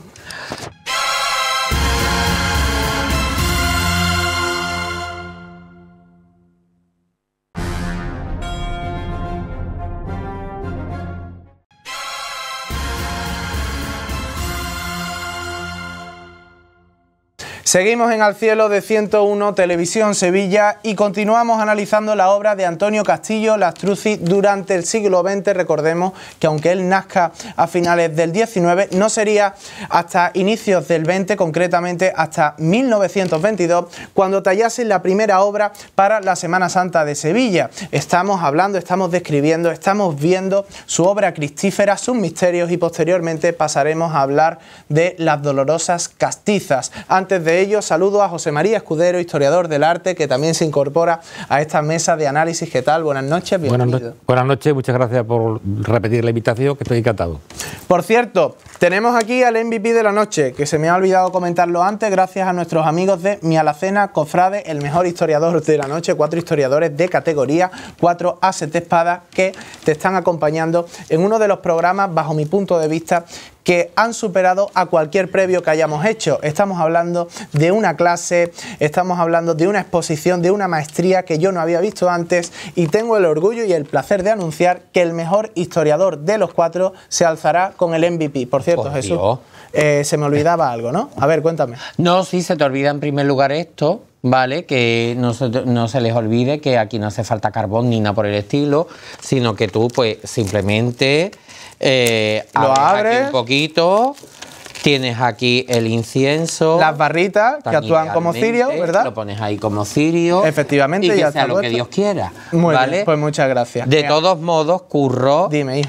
Mm, aquí todos somos muy buenos. Aquí no hay ninguno mejor. Bueno, ni peor. bueno, yo- estamos todos estupendos. Claro, pero yo hago esto Aquí para... somos como los arti- las artistas de la canción española que cada uno. Pero bueno, Jesús, yo esto lo hago eh, en pro de la competencia sana que hay en esta mesa, en pro de la motivación de cada uno de estos historiadores y realmente al final de la noche conoceremos el ganador del MVP y para mí, reitero que no es porque sea este programa ni esta casa, pero es el mejor programa que hemos hecho hasta el momento, por tanto, muchísimas gracias a los cuatro historiadores y al escritor Juan Pedro Recio que nos ha acompañado en esta primera parte, porque estoy seguro que en casa en este día de Andalucía lo deben estar disfrutando de lo lindo. Ahora bien, vamos a seguir hablando de Castillo Lastruzzi. Tenemos muchísimos misterios que analizar, pero antes Jesús Romanov, Iván Peluqueros. Lo mejor para tu pelo, famoso en el, en el mundo entero, para ponerte un cardado como el de Marge Simpson. Francis Segura, tenías que darme un consejo, ¿verdad? Yo tengo que aconsejarte que ante cualquier dificultad, ante cualquier problema de tipo laboral o de tipo siniestro, siniestro laboral, cuentes con la ayuda de GRC Abogados, 25 años en el corazón del barrio de Nervión, defendiéndonos de cualquier tipo de imprevisto que se nos pueda presentar en la vida. Muchas gracias, Francis. Por cierto, Jesús Romanov, este ¿Qué? programa también es posible gracias a Danigan. Sí, mm, botines por dentro, zapatos por fuera, eh, que a los músicos les viene estupendamente bien para estos días. Y también, Francis Segura, eh, el otro día, el pasado viernes, se presentó el cartel de Quiz Cofrade, como decíamos, la aplicación con más de 900 preguntas que pone al límite el conocimiento de cualquier cofrade, yo estoy convencido que ninguno de estos cuatro fallaría ninguna de las preguntas que se muestran, pero aún así es el claro indicativo del porcentaje de cultura cofrade que tiene cada uno de, los usuarios que quieran probar esta aplicación disponible en Google Play y en App Store, ¿verdad? Ahí está la, la aplicación Quiz Cofrade, montón de preguntas para aprender más sobre la Semana Santa. Si por un lado se nos quita el dolor de pie, por otro lado con Quiz Cofrade aprendemos más y conocemos mejor esta Semana Santa. Y además, Francis Segura, yo siempre lo digo, que esta familia tengo la suerte, el honor y el privilegio de afirmar que cada semana se hace más grande. ¿Por qué? Pues mira, porque nosotros estamos consiguiendo que empresas como Sevilla Suma, ¿eh? aquí tienen ustedes su logotipo, su imagen corporativa, se suma a nuestra familia y además nos haga ser más felices y soñar con un futuro diferente, porque nos han propuesto que todo aquel que por vernos, por seguir a nuestro programa, se acerque y les consulte para comprar o para vender alguna propiedad inmobiliaria, va a tener un 15% de descuento en los servicios que ofrece Sevilla Suma. Así que una magnífica oportunidad para cambiar de mano aquella propiedad que queramos contando con ellos. Y también una buena noticia y es que este mes, gracias a nuestros amigos de The Implants, eh, pueden obtener un 12% en todas las consultas que realicen a esta clínica dental que desde hace un par de semanas es el patrocinador oficial de Al Cielo. Ya saben, The Implant con un 12% gracias a este programa que puede seguirse cada miércoles en 101 a través de la TDT y de YouTube. También saludamos a nuestro club de YouTube y decía Romano, a ver, Jesús, ¿por qué te estás riendo? No por nada, no Sí, me estoy sí. riendo por nada, no te preocupes. No, no me lo vas a decir. Bueno, lo que, lo que sí hablábamos la semana pasada, que eh, tú no vas a ir a Demplan porque tienes los dientes perfectos, Yo tengo pero, los dientes estupendamente, mi arma. pero todo aquel que quiera hacer una restauración o una intervención conservativa, como se dice ahora en el mundo de las hermandades, en sus dientes, en su boca, en fin, en su rostro, pues que vaya a Demplan, ¿verdad? Sí, sí, estupendamente. Francis, ¿tú qué plan? Pues nada, yo pienso que tenemos que trasladarnos otra vez al pasado, curro. Exacto. Tenemos que irnos al año 29. Al año 29, Qué bueno eres, cuando la. Hermandad de la Macarena Qué bueno eres. recupera su idea de misterio contemporáneo, resulta que la ciudad está metida en una vorágine de acontecimientos que hace que hasta junio de 1930 todo sea exposición iberoamericana, ¿no? Esa exposición universal que se celebra en Sevilla. Y cuando queremos darnos cuenta, pues la- todos los problemas políticos de la, de la Primera República, que, tantos problemas dan en Málaga, también en Sevilla, y que estamos a tener, perdón, primera, segunda, estoy hoy, que fatal, la Segunda República, que va a, a tener una consecuencia muy importante en, la, en, en lo que son las imágenes que van a desaparecer, que van a ser destruidas. Y en todo ese proceso va a estar, como yo decía, en un ralentí, Castillo va a estar en un ralentí, eh, llevando a cabo obras muy importantes como las que hace para la Hermandad de la Iniesta. Efectivamente, que la Va estamos viendo en pantalla. abrir un periodo nuevo en este crucificado, pero ya, ya este es del año 38, ¿eh? ya con un modelo en el que se purifican, digamos, esas características barrocas, se coloca un modelado contemporáneo basado en esos moldes, en esos moldes barrocos y deja la puerta abierta o abre la puerta, son las primeras intervenciones que se hacen después de la, de la guerra civil para reponer todas esas imágenes que habían sido destruidas. Características de esta imagen, esta iconografía que va a repetir este modelo, lo va a repetir mucho Castillo Lastrucci en su producción. Sí, bueno, yo destacaría dos cuestiones, o tres, ¿no? Un, en primer lugar, un ligero recuerdo en el Cristo de la Buena Muerte de la Hermandad de los Estudiantes, pero muy ligero, ¿eh? puesto que el planteamiento formal de Castillo Lastrucci no tiene nada que ver con el del escultor barroco, con el de Juan de Mesa. Eh, en segundo lugar, destacaría la, la constitución de la caja torácica con una serie de, de abstracciones encadenadas que derivan de los torsos de los tres crucificados que conocemos de Antonio Susillo, o de las tres versiones de un mismo crucificado, vamos a especificarlo. Y después destacaría también la potencia tan monumental que tiene la corona de espinas, ¿eh? que, que le, da, bueno, le da movimiento, que tiene un carácter muy expresivo, muy dinámico y que difiere también de los modelos barrocos conocidos hasta este momento. Y por cierto, la riqueza que tiene la encarnadura del Cristo de la Buena Muerte, que gracias a la afortunada última restauración, pues lo, pode- lo podemos contemplar. Y qué duda cabe que, mm, fijaros los detalles de las llagas, los frescores, los regueros de la sangre, Pero- la pero- llaga del hombro. Pero que es poca sangre, ¿eh? como en las obras lo propio de, Lastrucci. vamos a ver, pero es lo propio de la escuela sevillana. Eso es una cosa muy propia. Los, escultores sevillanos no pueden dejar de ser lo que son nunca y espero que nunca dejen de serlo. Y que reúne precisamente eso, ¿no? Une esos presupuestos propios de la escultura clásica sevillana, pero que también le da esa, ese toque no tan, tan nuevo y tan contemporáneo. Y José María, el dolor a través de la belleza, ¿no? La simplicidad de los grafismos, de los rasgos, para regalarnos una obra que no sufre, que ama que tiene misericordia, que es bondadosa, ¿verdad? Está absolutamente idealizado, eh, tiene una gran belleza formal.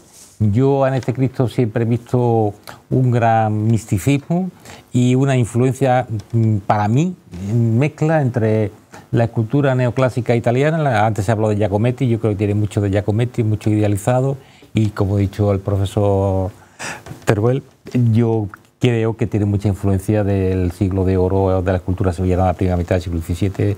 Juan de Mesa, incluso el propio Martínez Montañés, recuerda algo al Cristo de la clemencia, esa serenidad, esa belleza idealizada, ese desnudo a lo divino que emana la, la fuente de la vida, aunque esté muerto. Eh, es un Cristo realmente idealizado y para mí absolutamente eh, místico y creo que el gran Cristo crucificado de, del, autor es este. Tiene una, tiene una versión previa anterior del año 1935 en Galaroza, que es realmente muy buena, pero no llega a estas calidades de idealización, de ascetismo, esta introducción de depuración neoclásica, en fin, esto es una obra maestra del, del escultor, igual que decíamos antes que el Cristo de la presentación gran Cristo de, Antonio Castillo, el gran crucificado yo creo que es este, desde luego. Sí, este es un gran crucificado sin lugar a dudas, ¿eh? sin lugar a dudas. Es verdad que en esta época tiene seis o siete crucificados repartidos por Andalucía. Muy similares, ¿eh? Sí, muy similares, pero todos con variantes. ¿eh? No es que sean réplicas de uno, no, no, todos tienen su sus particularidades que, lo, que los distinguen y todos tienen la misma constitución de la caja torácica y el mismo sentido de la, de la idealización ¿eh? que derivan de dos, de dos tendencias distintas. Pero fíjense bien, yo no creo que sea ni un neobarroco pese a la referencia del 17, porque él no quiere trabajar como los del 17. No. Él está trabajando como los discípulos de Susillo.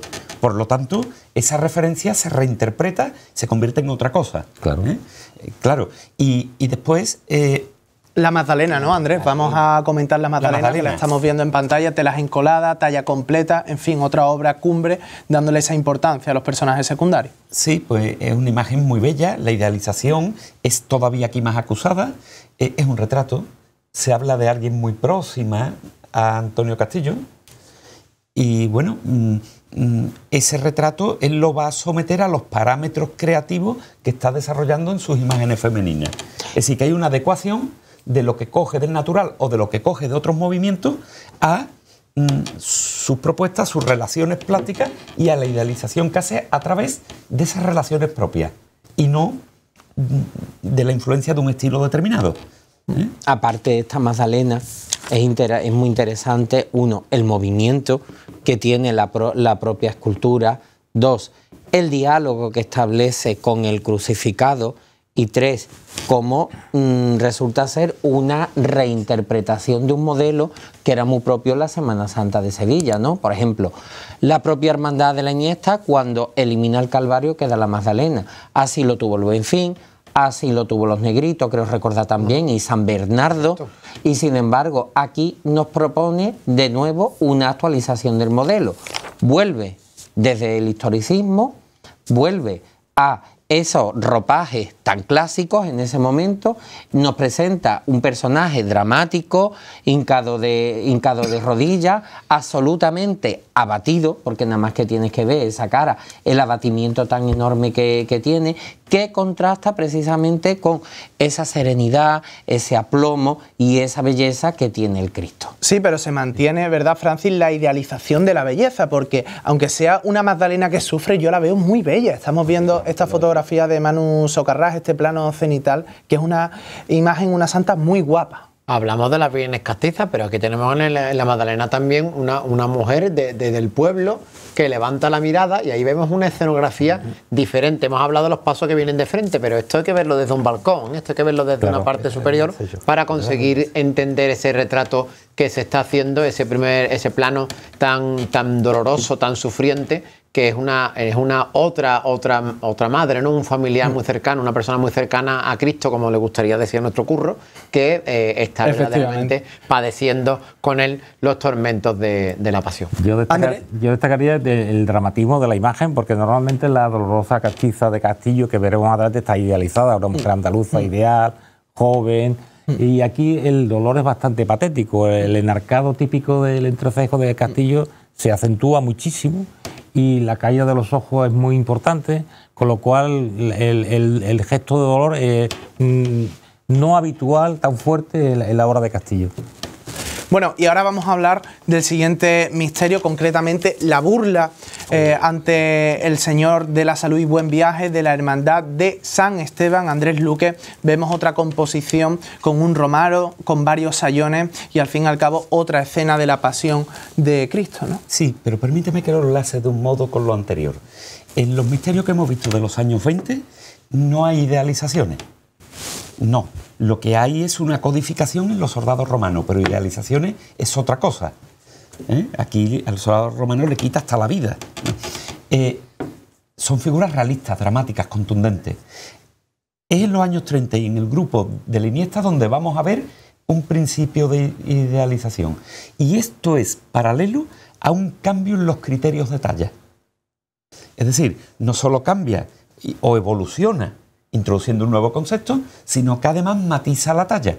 Y en vez de tener esos acabados tan rugosos, tan táctiles, tan pictoricistas que veíamos los años 20, a la vez tan influenciados por el impresionismo y por la escultura parisina, ahora se simplifican esos efectos ¿eh? todavía están, pero muy simplificados, muy contenidos, y cuando lleguemos a los misterios de los años 40, va a seguir profundizando la simplificación, de manera que van a llegar a perder todos los efectos pictoricistas. Es decir, que el escultor renuncia al pictoricismo. Claro, si lo vemos en misterios como este de San Esteban, donde los personajes se están burlando de Cristo, por lo tanto Antonio Castillo va a recurrir a la, a la fealdad, Sí, sí. Totalmente. Sí, sí, sí, sí, Claro, sí, sí, sí. va a recurrir a, esa representación que es medieval, de lo malo como feo, lo, lo bueno como bonito. Claro, aquí ya en el siglo XX lo bonito es lo natural y lo malo se codifica queriendo y se acentúa para que parezcan no las especies de caretas o de máscaras eh, que, que se vean en las esculturas del 17, pero sí eh, figuras expresionistas deformes, poco trabajadas a veces, Claro. muy defectos, en que generen ese sentido de esto no es perfecto, esto no está acabado. Pero claro, es un inacabado consciente y expresivo. ¿eh? Por lo tanto, Antonio Castillo está consiguiendo su propósito. Con un misterio que es de muy difícil solución porque tiene un Cristo con poco volumen y sentado. Luego tiene que poner todas las figuras por debajo para que se vea. ¿eh? Es decir, que. E incluso, que es bastante interesante, la propia, las diagonales que él establece en este misterio, en las cuales todas convergen en el Cristo.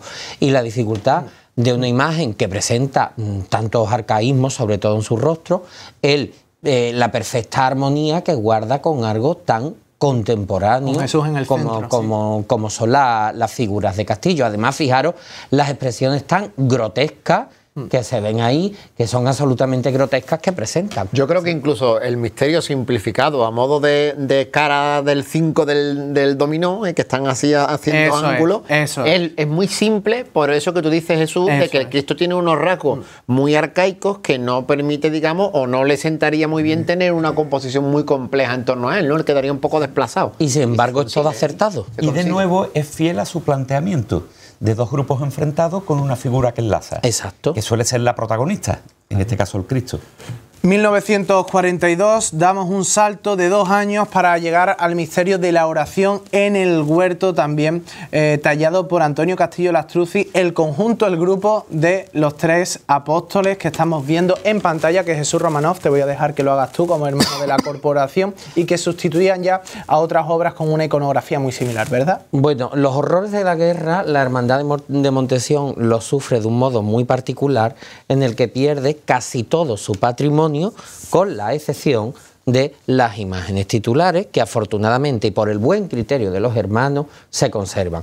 Entre las imágenes titulares, eh, aunque no lo fuera el ángel Egudiel, siempre tuvo un enorme, eh, una, eh, enorme preeminencia entre los hermanos, siempre ha gustado bastante y se ha sido consciente de la riqueza que tenía. ¿Qué es lo que ocurrió? Como las imágenes y todo estaba guardado en la capilla, pues todo sale ardiendo en el, in- el incendio de la tarde del 18 de julio del 36. El misterio va a estar una serie de años eh, inconcluso, simplemente con el ángel y el Cristo, hasta que posteriormente se le encarga a Castillo Lastruzzi los tres durmientes, San Juan, San Pedro y Santiago, que pasan a colocarse justo detrás.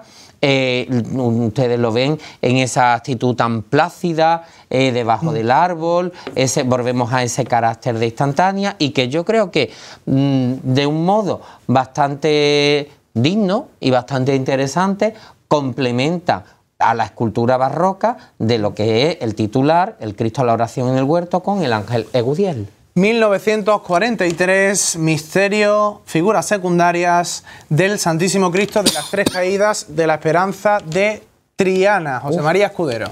Bueno, este misterio ha cambiado mucho desde la concepción original de Castillo, nada más teniendo en cuenta que cuando él hace el boceto del misterio iban más figuras que después fueron retiradas. Ahora veremos el, el boceto.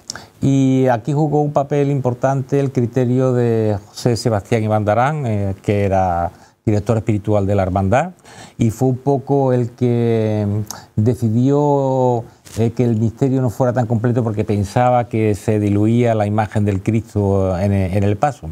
Entonces quizás es que la principal razón por la que el misterio no acabó de hacerse completo. Eh, de todas maneras, cuando sale por primera vez, el, misterio no va como ahora. El, el- sayón a caballo va dialogando con el José de Arimatea y las mujeres de Jerusalén con los niños van en la, en la- en la delantera de- del paso. De manera que los diálogos que se, que se establecen originalmente en la composición son completamente distintos a los de ahora. Y también imágenes mutiladas. Pasa lo mismo que, por ejemplo, con las figuras secundarias del misterio del Señor de la Sentencia de la Macarena. Estamos viendo el conjunto de las Marías que eh, podemos afirmar que no tienen nada que ver con el original, que eran tallas completas, telas encoladas y además vamos a ver fotos en exclusiva de este grupo escultórico de las Marías. Eh, seguimos hablando de, de este misterio que para mí es curiosísimo. Hay que tener en cuenta una cosa, cuando Castillo llega a este misterio del Santísimo Cristo de las Tres Caídas, ha hecho un recorrido por Triana en la cual ha, ha Mira, sembrado, mira.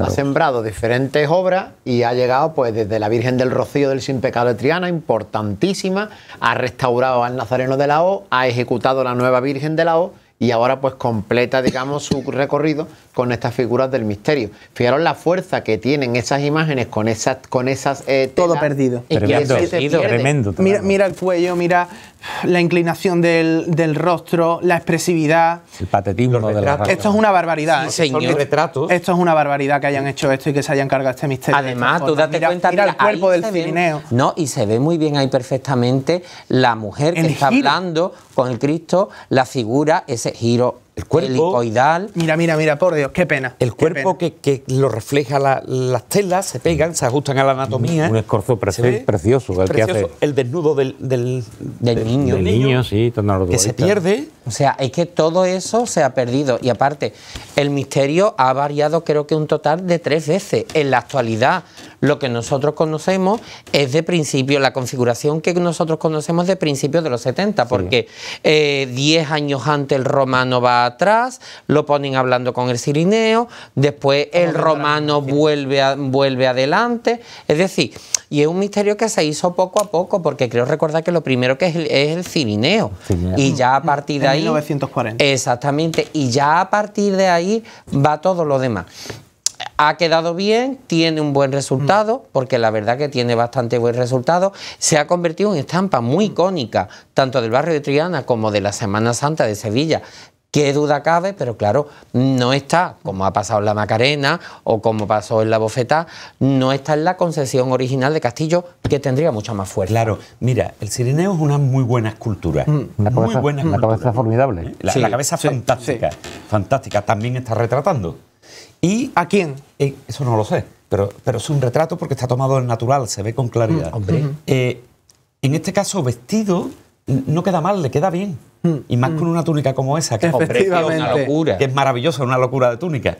Entonces queda bien. Pero que- las mujeres no. Las no. mujeres no quedan bien. Las mujeres son la nota Sí, sí. disonante. Disonante. Es una pena. Y, Claro. sin embargo, en origen eran magníficas, ¿no? O mira la figura suprimida Del esclavo etíope. del esclavo etíope, que es otra grandísima escultura. Que por cierto, a mí siempre me ha dado mucha pena que la hayan retirado tanto de su sitio original como Jesús despojado, que por cierto estaba integrado a la perfección. Mira, mira, mira el boceto. Pero te voy a decir una cosa, Jesús. A mí también me, Vamos a ver a me Jesús duele despojado. mucho. A mí también me duele mucho que las hermandades no sean generosas. Fíjate qué detalle más bonito sería que la hermandad de Jesús despojado le regalara la imagen a la hermandad de la esperanza. Sería un detalle precioso. Y se recuperaría una obra para un misterio que es importante en ese misterio. ¿Se recuperaría? El ya no. Mira, estamos viendo el boceto Es el original. boceto pero- original. Es el boceto original, al cual eran un total de 11 figuras Pero- y el que Bandarán empieza a quitar. A quitar. Fíjate que incluso, qué curioso, tenemos uno que eso eh, lo vemos en los pasos de Salsillo, Sí. en la caída de Zamora, de Ramón Álvarez, que estaba pegándole a Cristo, que estaba como- atizándole. Sí, Incluso la del Valle de la postura, coronación de la postura original. Está en el paso. Exacto, la postura original del esclavo etíope que va tirando, esto está heredado de eh, los misterios habituales del Camino del Calvario. El famoso relieve que yo he nombrado en alguna ocasión del convento de Santa María de Jesús tiene un, un personaje exactamente igual. En el Camino del Calvario del retablo mayor de la Catedral de Sevilla es igual. Por cierto, ¿podemos recuperar la foto anterior? ¿Cuál de ellas? La anterior, justo Justamente la, anterior la- ahí anterior, se ve muy bien, ahí se ve muy bien el esclavo etíope tirando del Cristo. Del Cristo. Sí. Es que Castillo había recuperado un personaje para la Semana Santa y se fuma. Sí. Vamos, vamos a ver esa fotografía, estamos viendo el boceto. La siguiente, si no me equivoco, va a ser a la que hacía alusión Andrés Luque, que va a salir de un momento a otro. Fijaros el boceto, cómo Ahí va está. sobre, sobre tierra y piedra. Sí. Así sale al principio a la calle. Sin montes de flores y sin. sobre tierra y piedra. ¿Eh? Es decir, un planteamiento realista como corresponde a la formación Claro, del escultor, claro. de- del Sí, escultor. ¿eh? Exactamente. La verdad es que el misterio, tal y como lo tenemos en esta foto, es otro, otro buen Y ahí, misterio, ya otro está gran misterio. y ahí ya está mutilado. Bastante, bastante. Sí. Y ahí ya está mutilado. Y ahí ya empieza a estar mutilado, pero, pero es un gran misterio. Sí, lo que lo pasa es. que sucede como con la sentencia, que si los retocamos, los, refor- los reformamos, los destrozamos, Pero, a ver, si es cierto eh, que el esclavo etíope restaba mucha visibilidad al Cristo. Ahora estamos seguro, viendo justamente de perfil. seguro. y esa no era su posición. Mira el No, boceto. claro, esa no era... Con Esa era disposición está claro, ¿no? Porque Si si- miras el boceto, va adelante y no afecta al Cristo en nada. Exactamente. No creo todo. que Castillo considera un misterio tapando al Cristo. Nunca, no, no, no, no. nunca. Y buen siendo. Y fíjate, Ahí incluso ahí lo bien que se integraba. Sí. Ahí estaba perfectamente bien. A ver, Fernán hizo con esta cofradía auténticas maravillas, porque eh, Fernán fue una persona que él supo perfectamente recomponer, sacar de aquí y de allí, componer una cofradía que parecía que había estado toda la vida Además, en la Semana Santa. Eso fíjate qué interesante. Se veía en la foto el contraste del, del busto realista suelto de Castillo Lastrucci con el torso del Cristo que es de Antonio Lava. Exacto. Y es finísimo, refinado. Pero- Sí, y hace sí, un sí. contraste Precioso. entre lo material y la divinidad de Cristo. Eh, Fijaros en el conjunto de las Marías, que es que ahora con esos ropajes tiene una forma ovalada, que es que no tiene nada que ver con lo que era. No. No, claro. Y fíjate que ahí Otra todavía la niña, Ahí está Todavía la niña la niña todavía tiene su Pero ropaje ya original vemos ahí esa forma ovalada. Pero una pregunta que le haremos a Nacho Sánchez Rico cuando lo veamos. Nacho, prepárate. ¿Están vestidas la figura encima de las ropas encoladas? Pues eso es lo que Porque eso no lo sabemos. Ahí y a lo mejor hay- se conservan debajo. Ahí hay una niña que está todavía con la ropa encolada. Efectivamente, mientras que la otra está vestida. Sí. Hombre, sería un acierto recuperarlo. Hombre, si se conservan debajo sería Por- un enorme hombre, acierto. sería Por lo que me chivan, No, No, no. no. Además se destrozaron. Además lo digo así, literalmente se Es que destrozaron. para quitarlo hay que Es destrozarlo. claro que no tiene más remedio. Destrozado. Lo que antiguamente se llamaba desmochar. Sí, pero, Exacto. pero Eso también hay creo que yo el, el, centurión a caballo detrás creo la que no es segunda más versión en la que está el centurión a caballo hablando con el, eh, el cirineo. Por cierto, aquí yo quería hacer un inciso sobre el éxito de los secundarios de Castillo. Porque, por Efectivamente, ejemplo, efectivamente. Esto eh, marca un éxito enorme porque los esclavos negros a partir de Castillo se generalizan.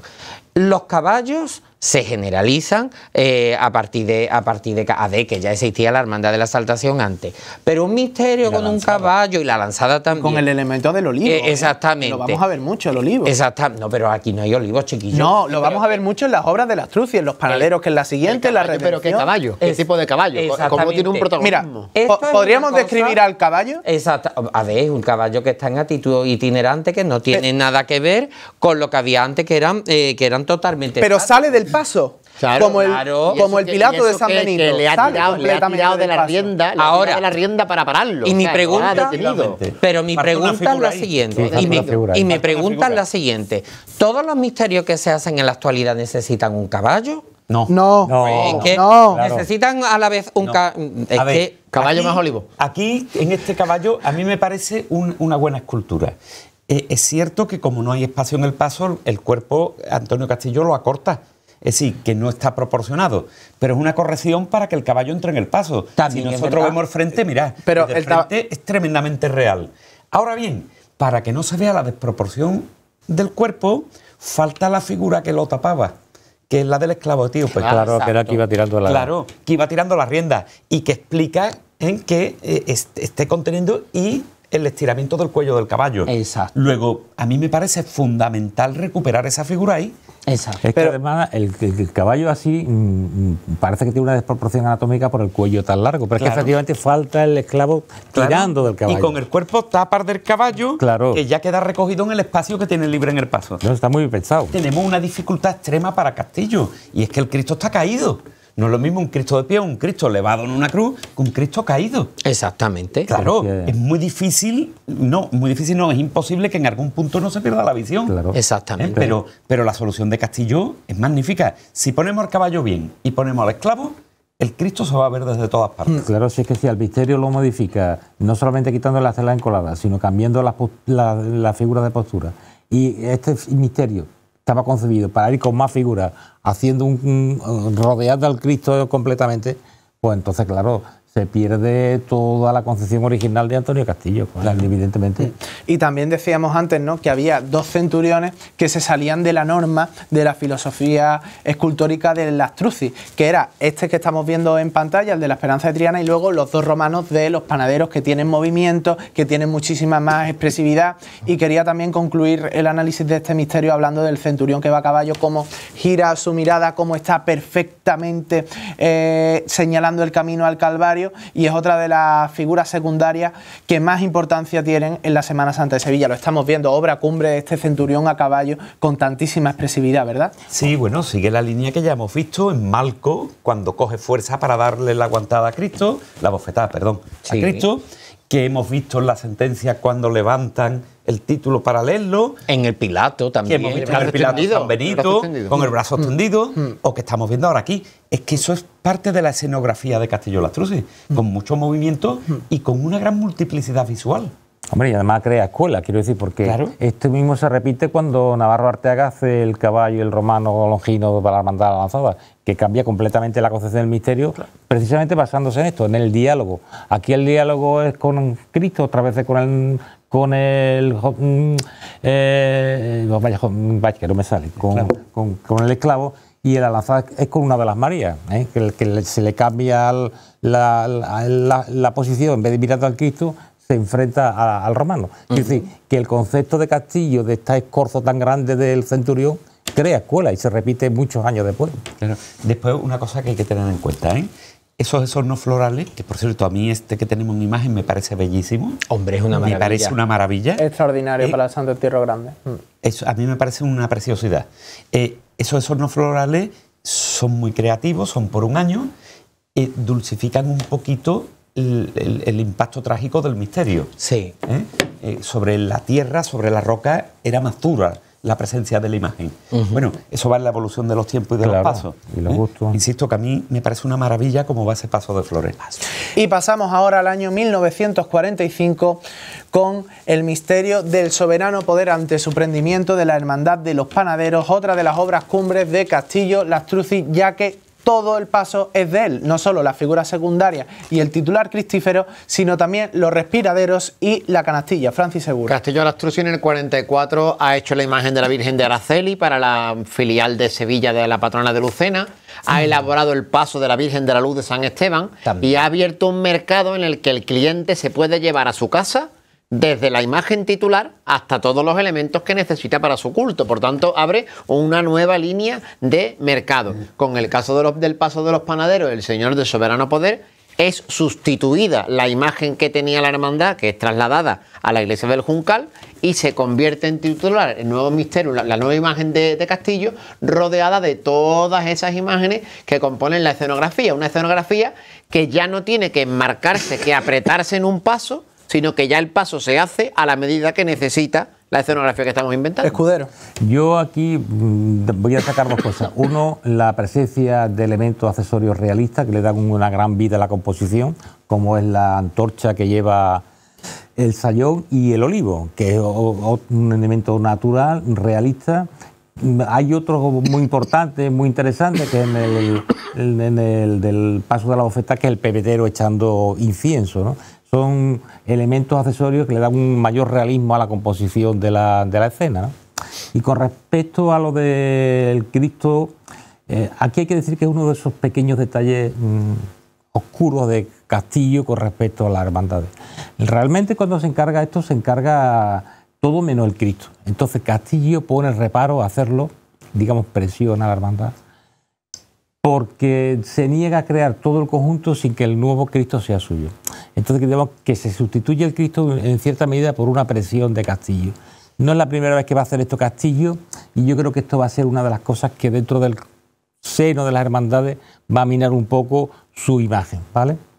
Es mi opinión. Sí. Qué Yo iba- bueno. Yo iba a comentar justo las dos cosas que ha dicho. El naturalismo Es que- también en la, en la tea, la tea que porta el, el sayón, que- Totalmente. que ya se puede encender con luz eléctrica porque ya se está dominando Francis, el manejo. ese, ese es un punto clave. Introduce la tecnología, introduce la luz eléctrica, como ha hecho también en el paso de la Virgen de la Luz. Claro. ¿Eh? Precisamente por ser la simbología de la Virgen y tal. Introduce esa luz eléctrica en los pasos. Que después es algo que en Sevilla no ha prosperado. No. Pero que en estos pasos son detalles realistas y tecnológicos que nos dicen, bueno, cuál era el posicionamiento de Castillo Lastrosi. Vanguardista. Y luego también Hombre, al menos de su tiempo, Sí. al menos avanzado en su tiempo. destaco eh, las claras líneas paralelas que hay en este misterio con el Señor en el centro. Lo vemos claramente que son los romanos los que marcan esas líneas paralelas que van a llegar hasta el final y que los separa el Señor en el centro y posteriormente el olivo. María. Este paso que es muy interesante porque mm, igual que en los primeros misterios, los grandes misterios de los años 20 y 30 de, de Castillo, aquí hay tres niveles de acabado en el misterio. Hay un nivel de acabado, mm, digamos, uno, que es el Cristo, que es el que tiene mejor nivel de acabado, mejor conceptualización, mejor mm, eh, proyección 3D, digamos, en, el espacio. Hay un segundo nivel de acabado que es bueno, pero es un poquito inferior, que es la de los eh, evangelistas, y un tercer nivel de acabado que son el de los sayones tal, que eso siempre Castillo eh, los hace muy dinámicos, muy teatrales, muy escenográficos, pero con menos nivel de acabado, menos nivel de perfección. ¿vale? Y esto es interesante porque en este caso se ve perfectamente los tres niveles de acabado en los que Castillo, como Castillo eh, idea su, sus misterios. ¿no? Sí, a ver, en consonancia con ello, que es cierto, se ven muy bien los tres niveles, hay que decir que Castillo en esta época tiene como escultores de oficio a grandes escultores sevillanos. Ya lo creo. Es decir, son escultores que van por la tarde al taller para ayudarlo a pasar a madera las obras que Castillo va modelando, puesto que ya tiene tantísima producción que aunque el responsable es Castillo, aunque Castillo lo talla, evidentemente, pero hay partes que le van ayudando esos escultores de oficio. Y aquí tenemos a Antonio Eslava, que es finísimo, Ya lo creo. Aquí tenemos a Rafael Barbero, que es menos fino en el sentido de no de la perfección, porque también es un grandísimo escultor, sino en el sentido de que busca más el, el impacto expresivo que la finura de la talla. Y aquí va a entrar también el abuelo de nuestra compañera Alicia Iglesias, Julián Cumplido, que siendo responsable de los modelados de la cartuja, va a ir por las tardes durante 20 años a pasar a madera obra de Castillo. Bueno, esos escultores de oficio se notan, claro. Y en los primeros misterios, en las primeras obras, hay un escultor de primer orden que va a hacer escultor de oficio, va a sacar de, de- o sea, va a sacar de punto eh, las obras, que va a ser Antoni Llanes. Antoni Llanes ha sido escultor de oficio del taller de Antonio Castillo Lastrucci en, la- en las primeras obras. Eso es así. Y entonces el que, los- el que saca de puntos es, es Antoni Llanes. El que hace el, el rematado cuando se saca de la máquina de puntos es Antoni Llanes en las primeras obras. Eso es así. Porque eh, no olvidemos nunca que Susillo es un gran barrista, uno de los mejores barristas que ha habido en España, dentro de la gran tradición barrista que hay en el siglo XIX en España. Y de hecho, como aquí se ha comentado antes tan interesantemente, su obra barrista es mimética con la de Antonio Susillo, de una calidad inmensa. Así es. Entonces, Antonio, eh, don Antonio Castillo Lastruzzi modela sus obras en barro, se pasan a escayola, de ahí se sacan a punto.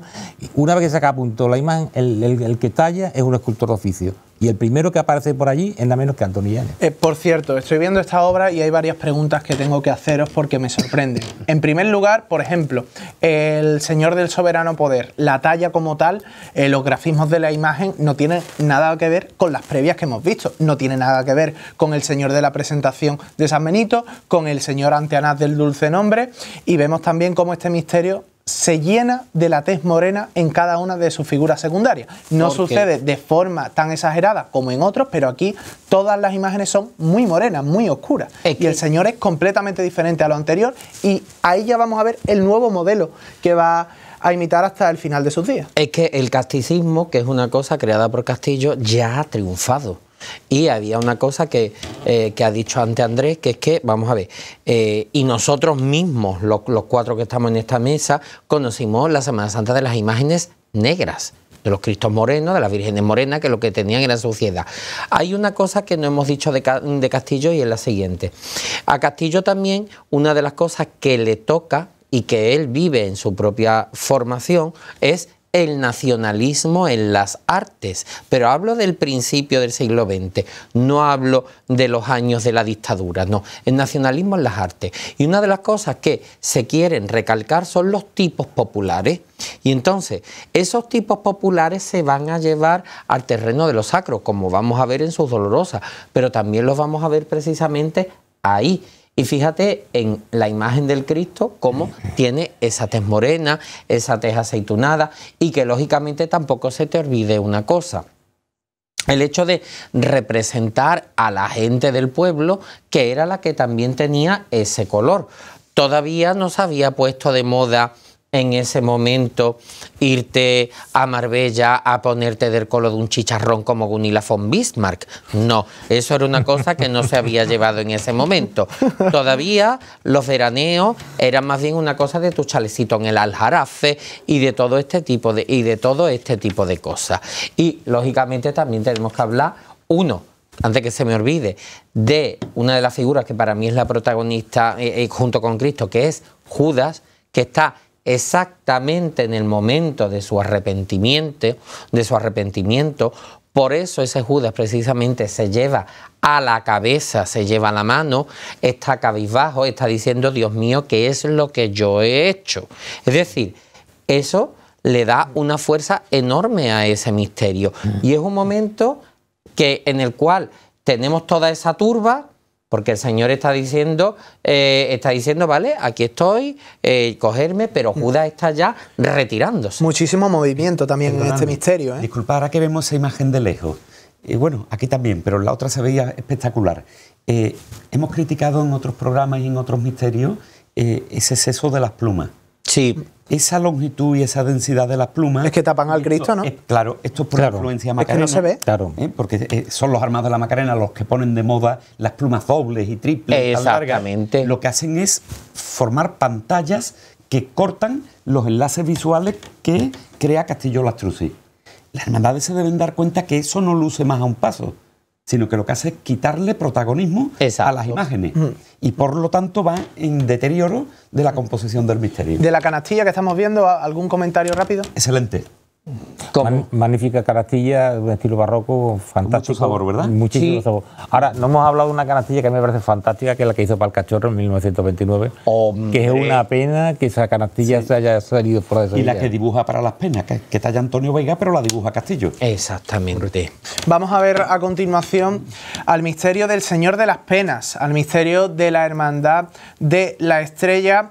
Y aquí abro debate porque sí es cierto que se nota claramente un descenso de la calidad artística de las imágenes. Estas obras no tienen nada que ver con lo que hemos visto inicialmente del misterio del dulce nombre, del misterio de San Benito. Aquí claramente ha descendido la calidad escultórica. ¿Por qué? Pues aquí estamos abriendo un camino que se ha inaugurado a, a partir del misterio de los panaderos, en el que el taller, ese taller que han definido también José María y Andrea hace un momentito, ya no puede abarcar con la misma calidad, por mucho que quiera, todos los trabajos que se vienen. Y nos encontramos también que hay hermandades con diferentes situaciones económicas que van a afrontar el completar sus misterios, el adquirir otras características también en esta época. Este misterio, si yo no me equivoco, es de 1952, que es el año, por cierto, en que Montesión termina, ¿verdad?, de restaurar su capilla y se traslada allí después de un largo periodo de penuria. La Hermandad de la Estrella vive en estos momentos también un momento de muchas dificultades y considera necesario completar el paso de nuestro Padre Jesús de las Penas con estas figuras de misterio, que a mi parecer son de las más eh, débiles o de las que han quedado pues menos fortalecidas en el conjunto de la evolución histórica de los misterios y que creo que están reclamando están reclamando una sustitución de, eh, a, la, a la altura de lo que tiene eh, la imagen de, Cristo de las Penas. Pero es una involución, más que evolución, ¿no? Hombre, es que, involución. es que aquí ya entramos en una cosa que eh, hay que decirlo claramente. El, el taller de Antonio Castillo, en este, a partir del año 50, 50 y algo, se convierte en un taller industrial prácticamente. Una factoría. Una factoría. Con 30 empleados. Trabaja para toda España. Entonces, Todo claro, mundo. obras. tenemos en cuenta, por ejemplo, que el misterio que hemos visto para el prendimiento, mm, casi 10 años después lo repite para, para Málaga. En Alicante hay un montón de encargos en estos años entre los 40 y los 50. En los pueblos de Andalucía, tremendo. Yo tengo una primicia, José María. Dime. Ha aparecido en casa de una familia que vive aquí en Sevilla, Sí. tiene contactos conmigo, no me ha pedido, me ha pedido eh, anonimato en su nombre, una carpeta con todos los contratos originales firmados por el maestro Castillo de todas las obras, de una gran mayoría de obras, y uno ve esa carpeta y se da uno cuenta de cuál debía ser el ritmo de trabajo en el taller. Por cierto, esta familia está dispuesta a facilitar a las hermandades que no tengan sus contratos una reproducción de los mismos. O sea Eso que nunca está de más. todas las hermandades que tengan imágenes de Castillo repartidas por toda España, ustedes me buscan por mis redes y me consultan que a ver qué podemos hacer. Ver al aluvión, Francis. Tenemos, Ver al lo veo. hablando, hablando de esto, veremos también cómo. Hombre, An- Antonio Castillo tiene una cosa muy importante, que él crea prototipos. Sí. Él crea un prototipo de San Juan, que lo crea, que lo crea un prototipo de crucificado, de imágenes secundarias que va a repetir. que va a rep- Entonces, claro, en su época dorada mm, la repite, pero siempre con una variación, con una. Pero llega un momento que es que se repite servilmente, porque es que lo que se hace es coger el molde de escayola, sacarlo de punto y empezar a, a alargar imágenes. Eso a hacer tanto con las imágenes secundarias como con, con algunas imágenes principales. Sí. Y ese es el fallo, el tremendo fallo de- de También tenemos que tener en cuenta una cosa. Eh, eso, por cierto, en otros escultores muy prestigiosos eh, mm, también eh, ocu- ocurría. Eh, hoy nosotros lo conocemos todo por aquí y nosotros vemos todo.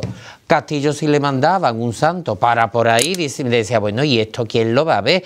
Pero por ahí es Bormujo. Por ahí en los años 50 es Bormujo, ¿eh? Que hoy Bormujo está al lado. Pero era eso en ese entonces. A ver, No, Jesús, pero a yo- mí no me parecen estas imágenes malas. Efectivamente, es lo que quería comentar. las de su época. Ni la- Efectivamente. No, no, no son ni, la- malas. ni las de la Las de estrella su tampoco, Tampoco. malas. Es cierto que no son las grandes obras de los años 20. Claro, indudablemente. Indudablemente no lo son, pero son obras muy dignas. Siempre dentro de esa dinámica, estamos hablando de personajes negativos, esa dinámica de fealdad, de buscar lo grotesco, de buscar... Entonces lo hace muy grotesco. En lo de la estrella se ven. Uno tiene cara...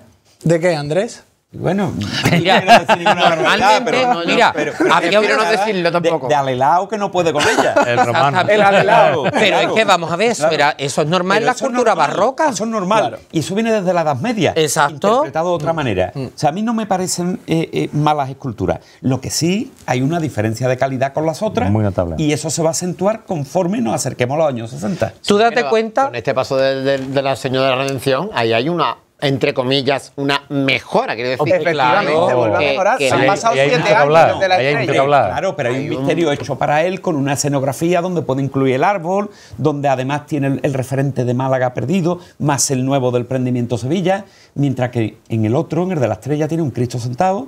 Ya hemos dicho muchas veces la dificultad de los Cristos sentados o caídos, porque van abajo. Claro. Entonces, es- ahí hay mucha más dificultad. Y además solo tres figuras, aquí hay un- unas cuantas, es decir, aquí hay más medios. incluso, incluso hay un momento en el taller de Castillo que eh, realmente quien lo, terminan llevando ya en la vez de Castillo son eh, los propios escultores de oficio. Mira, te voy a contar una anécdota Pepe muy curiosa. Pepe es Exactamente. Cuando la familia Pechero va a encargar una dolorosa que actualmente es la Soledad de los Servitas, ellos nunca ven a Castillo. Ellos van al taller, hablan con un intermediario, suben, o sea, sube el intermediario y el contrato baja firmado por Castillo, pero ellos jamás ven a Castillo. Es decir, ya es que esto va en el propio declinar de la vida del Claro, artista. claro. Claro.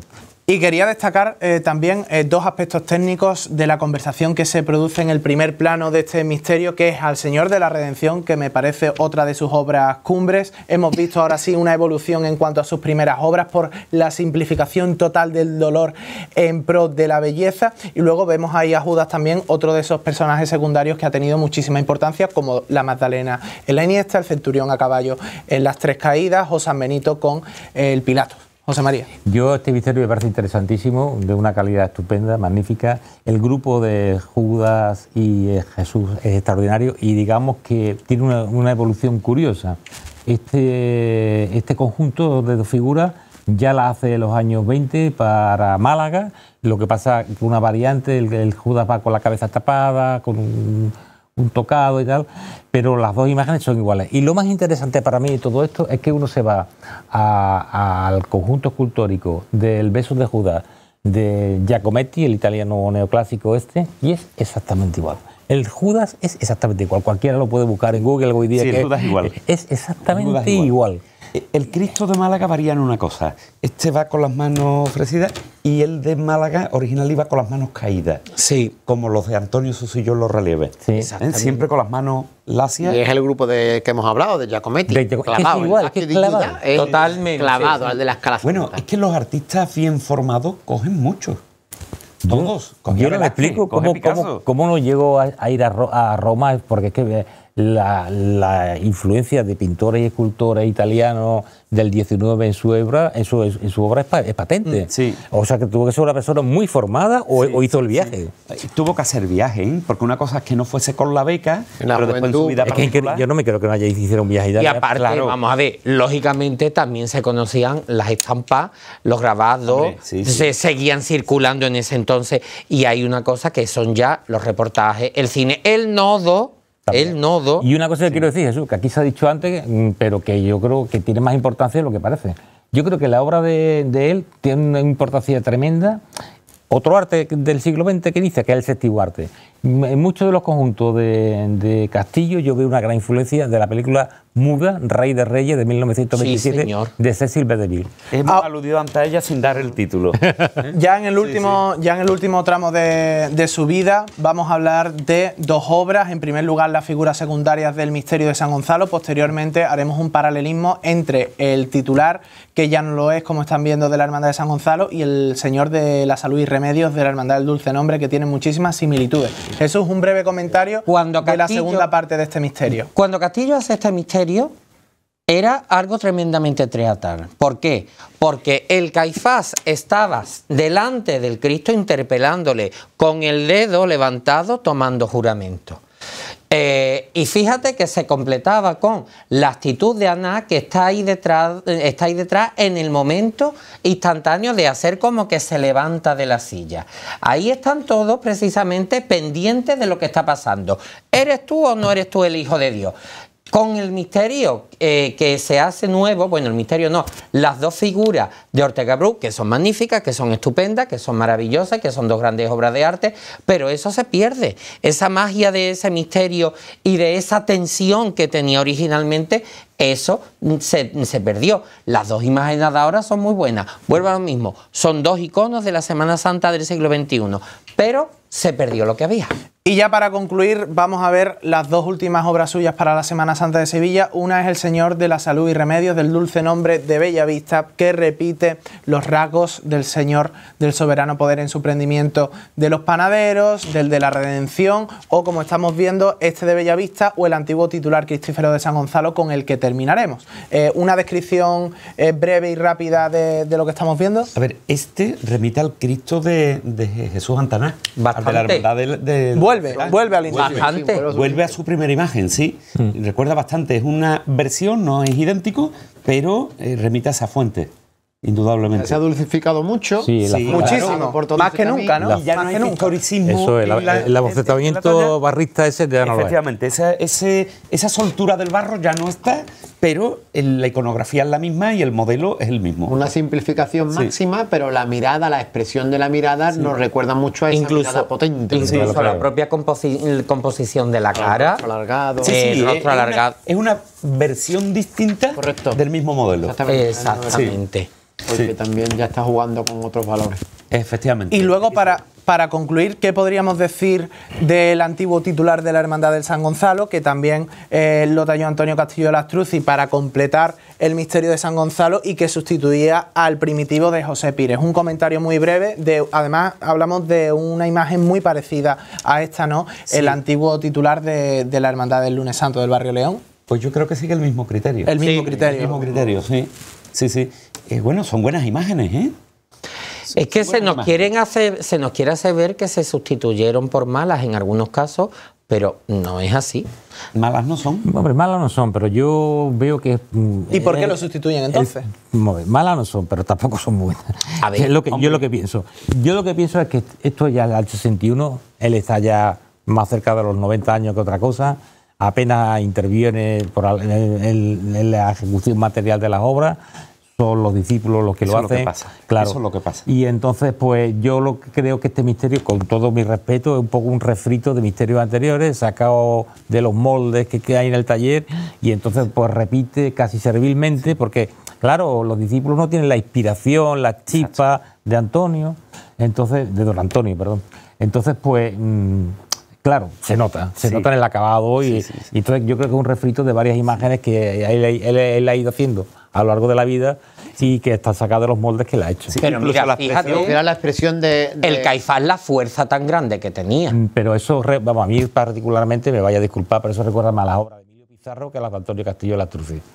Sinceramente. Claro, a ver, a ver. No, lo que claro. hay es un adocenamiento por Mira, repetición Vamos, eso de los es, modelos. Eso es a Emilio Pizarro, vamos, de todas, todas, porque eso precisamente. En esta última etapa eh, de Antonio Castillo, estamos hablando ya de, de 1962-63, él fallece en el 67, es decir, que estamos hablando de un hombre que va de los 86 a los 90 años. Claro. Que interviene ya muy poco o nada en la obra final, donde yo creo que ni siquiera modela ya, porque se están repitiendo los modelos anteriores, como vemos, y por lo tanto lo que hace es elegir modelos dentro del taller. Ya va, ya va llegando al Efe- final de. Efectivamente. de Además, vida.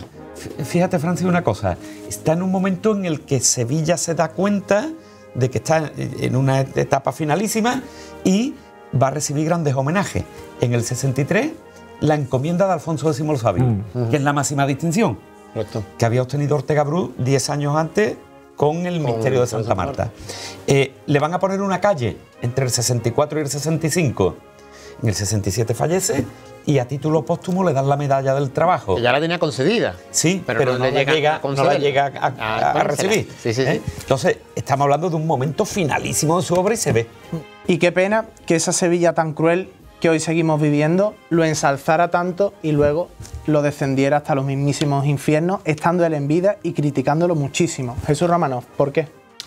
Pues porque lo- es lo que hemos estado hablando al final, ¿no? De cómo pues ese nivel va descendiendo, se quedan obras de taller, eh, como ya he dicho, eh, al final ni siquiera los propios clientes estaban, lo veían, o sea que eso es la imagen que nosotros desgraciadamente se da en muchos sitios de Castillo, de la obra final.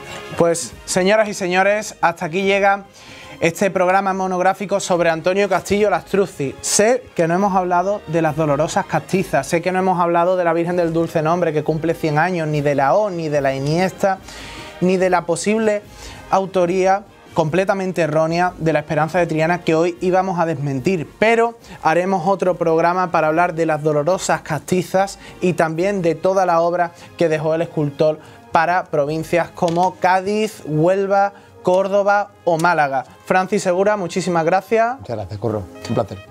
Jesús Romanov, muchísimas gracias. Hasta la próxima semana. Andrés Luque Gracias a ti, Curro. Buenas noches. y por último José María Escudero. Muchísimas gracias, un honor. Pues las gracias os las doy yo a vosotros porque la clase didáctica, divulgativa, pedagógica, histórica, artística, escultórica que hoy nos habéis vuelto a regalar no tiene precio. Hoy hemos hecho historia, hoy vosotros habéis regalado a la audiencia un programa inédito, un programa que hace honor a Antonio Castillo Lastruzzi y que desde este momento podrá ser público y accesible para todo aquel que lo quiera consumir. El Nazarenito, el MVP, no se lo lleva ninguno de estos cuatro historiadores porque todos han sido los mejores y les pido un fu- fuerte aplauso, por favor, venga. Porque lo habéis hecho muy bien, muy bien. Muchísimas gracias. Señoras y señores, nosotros nos despedimos recordando el cartel de la taberna Matacandela, obras de Isidoro Villalba Corzo, que tuvimos el honor de presentar el pasado jueves. Y también nos vamos dándole las gracias al pueblo de Cieza, que nos acogió con los brazos abiertos como la Asunción de María, que preside uno de los templos del municipio.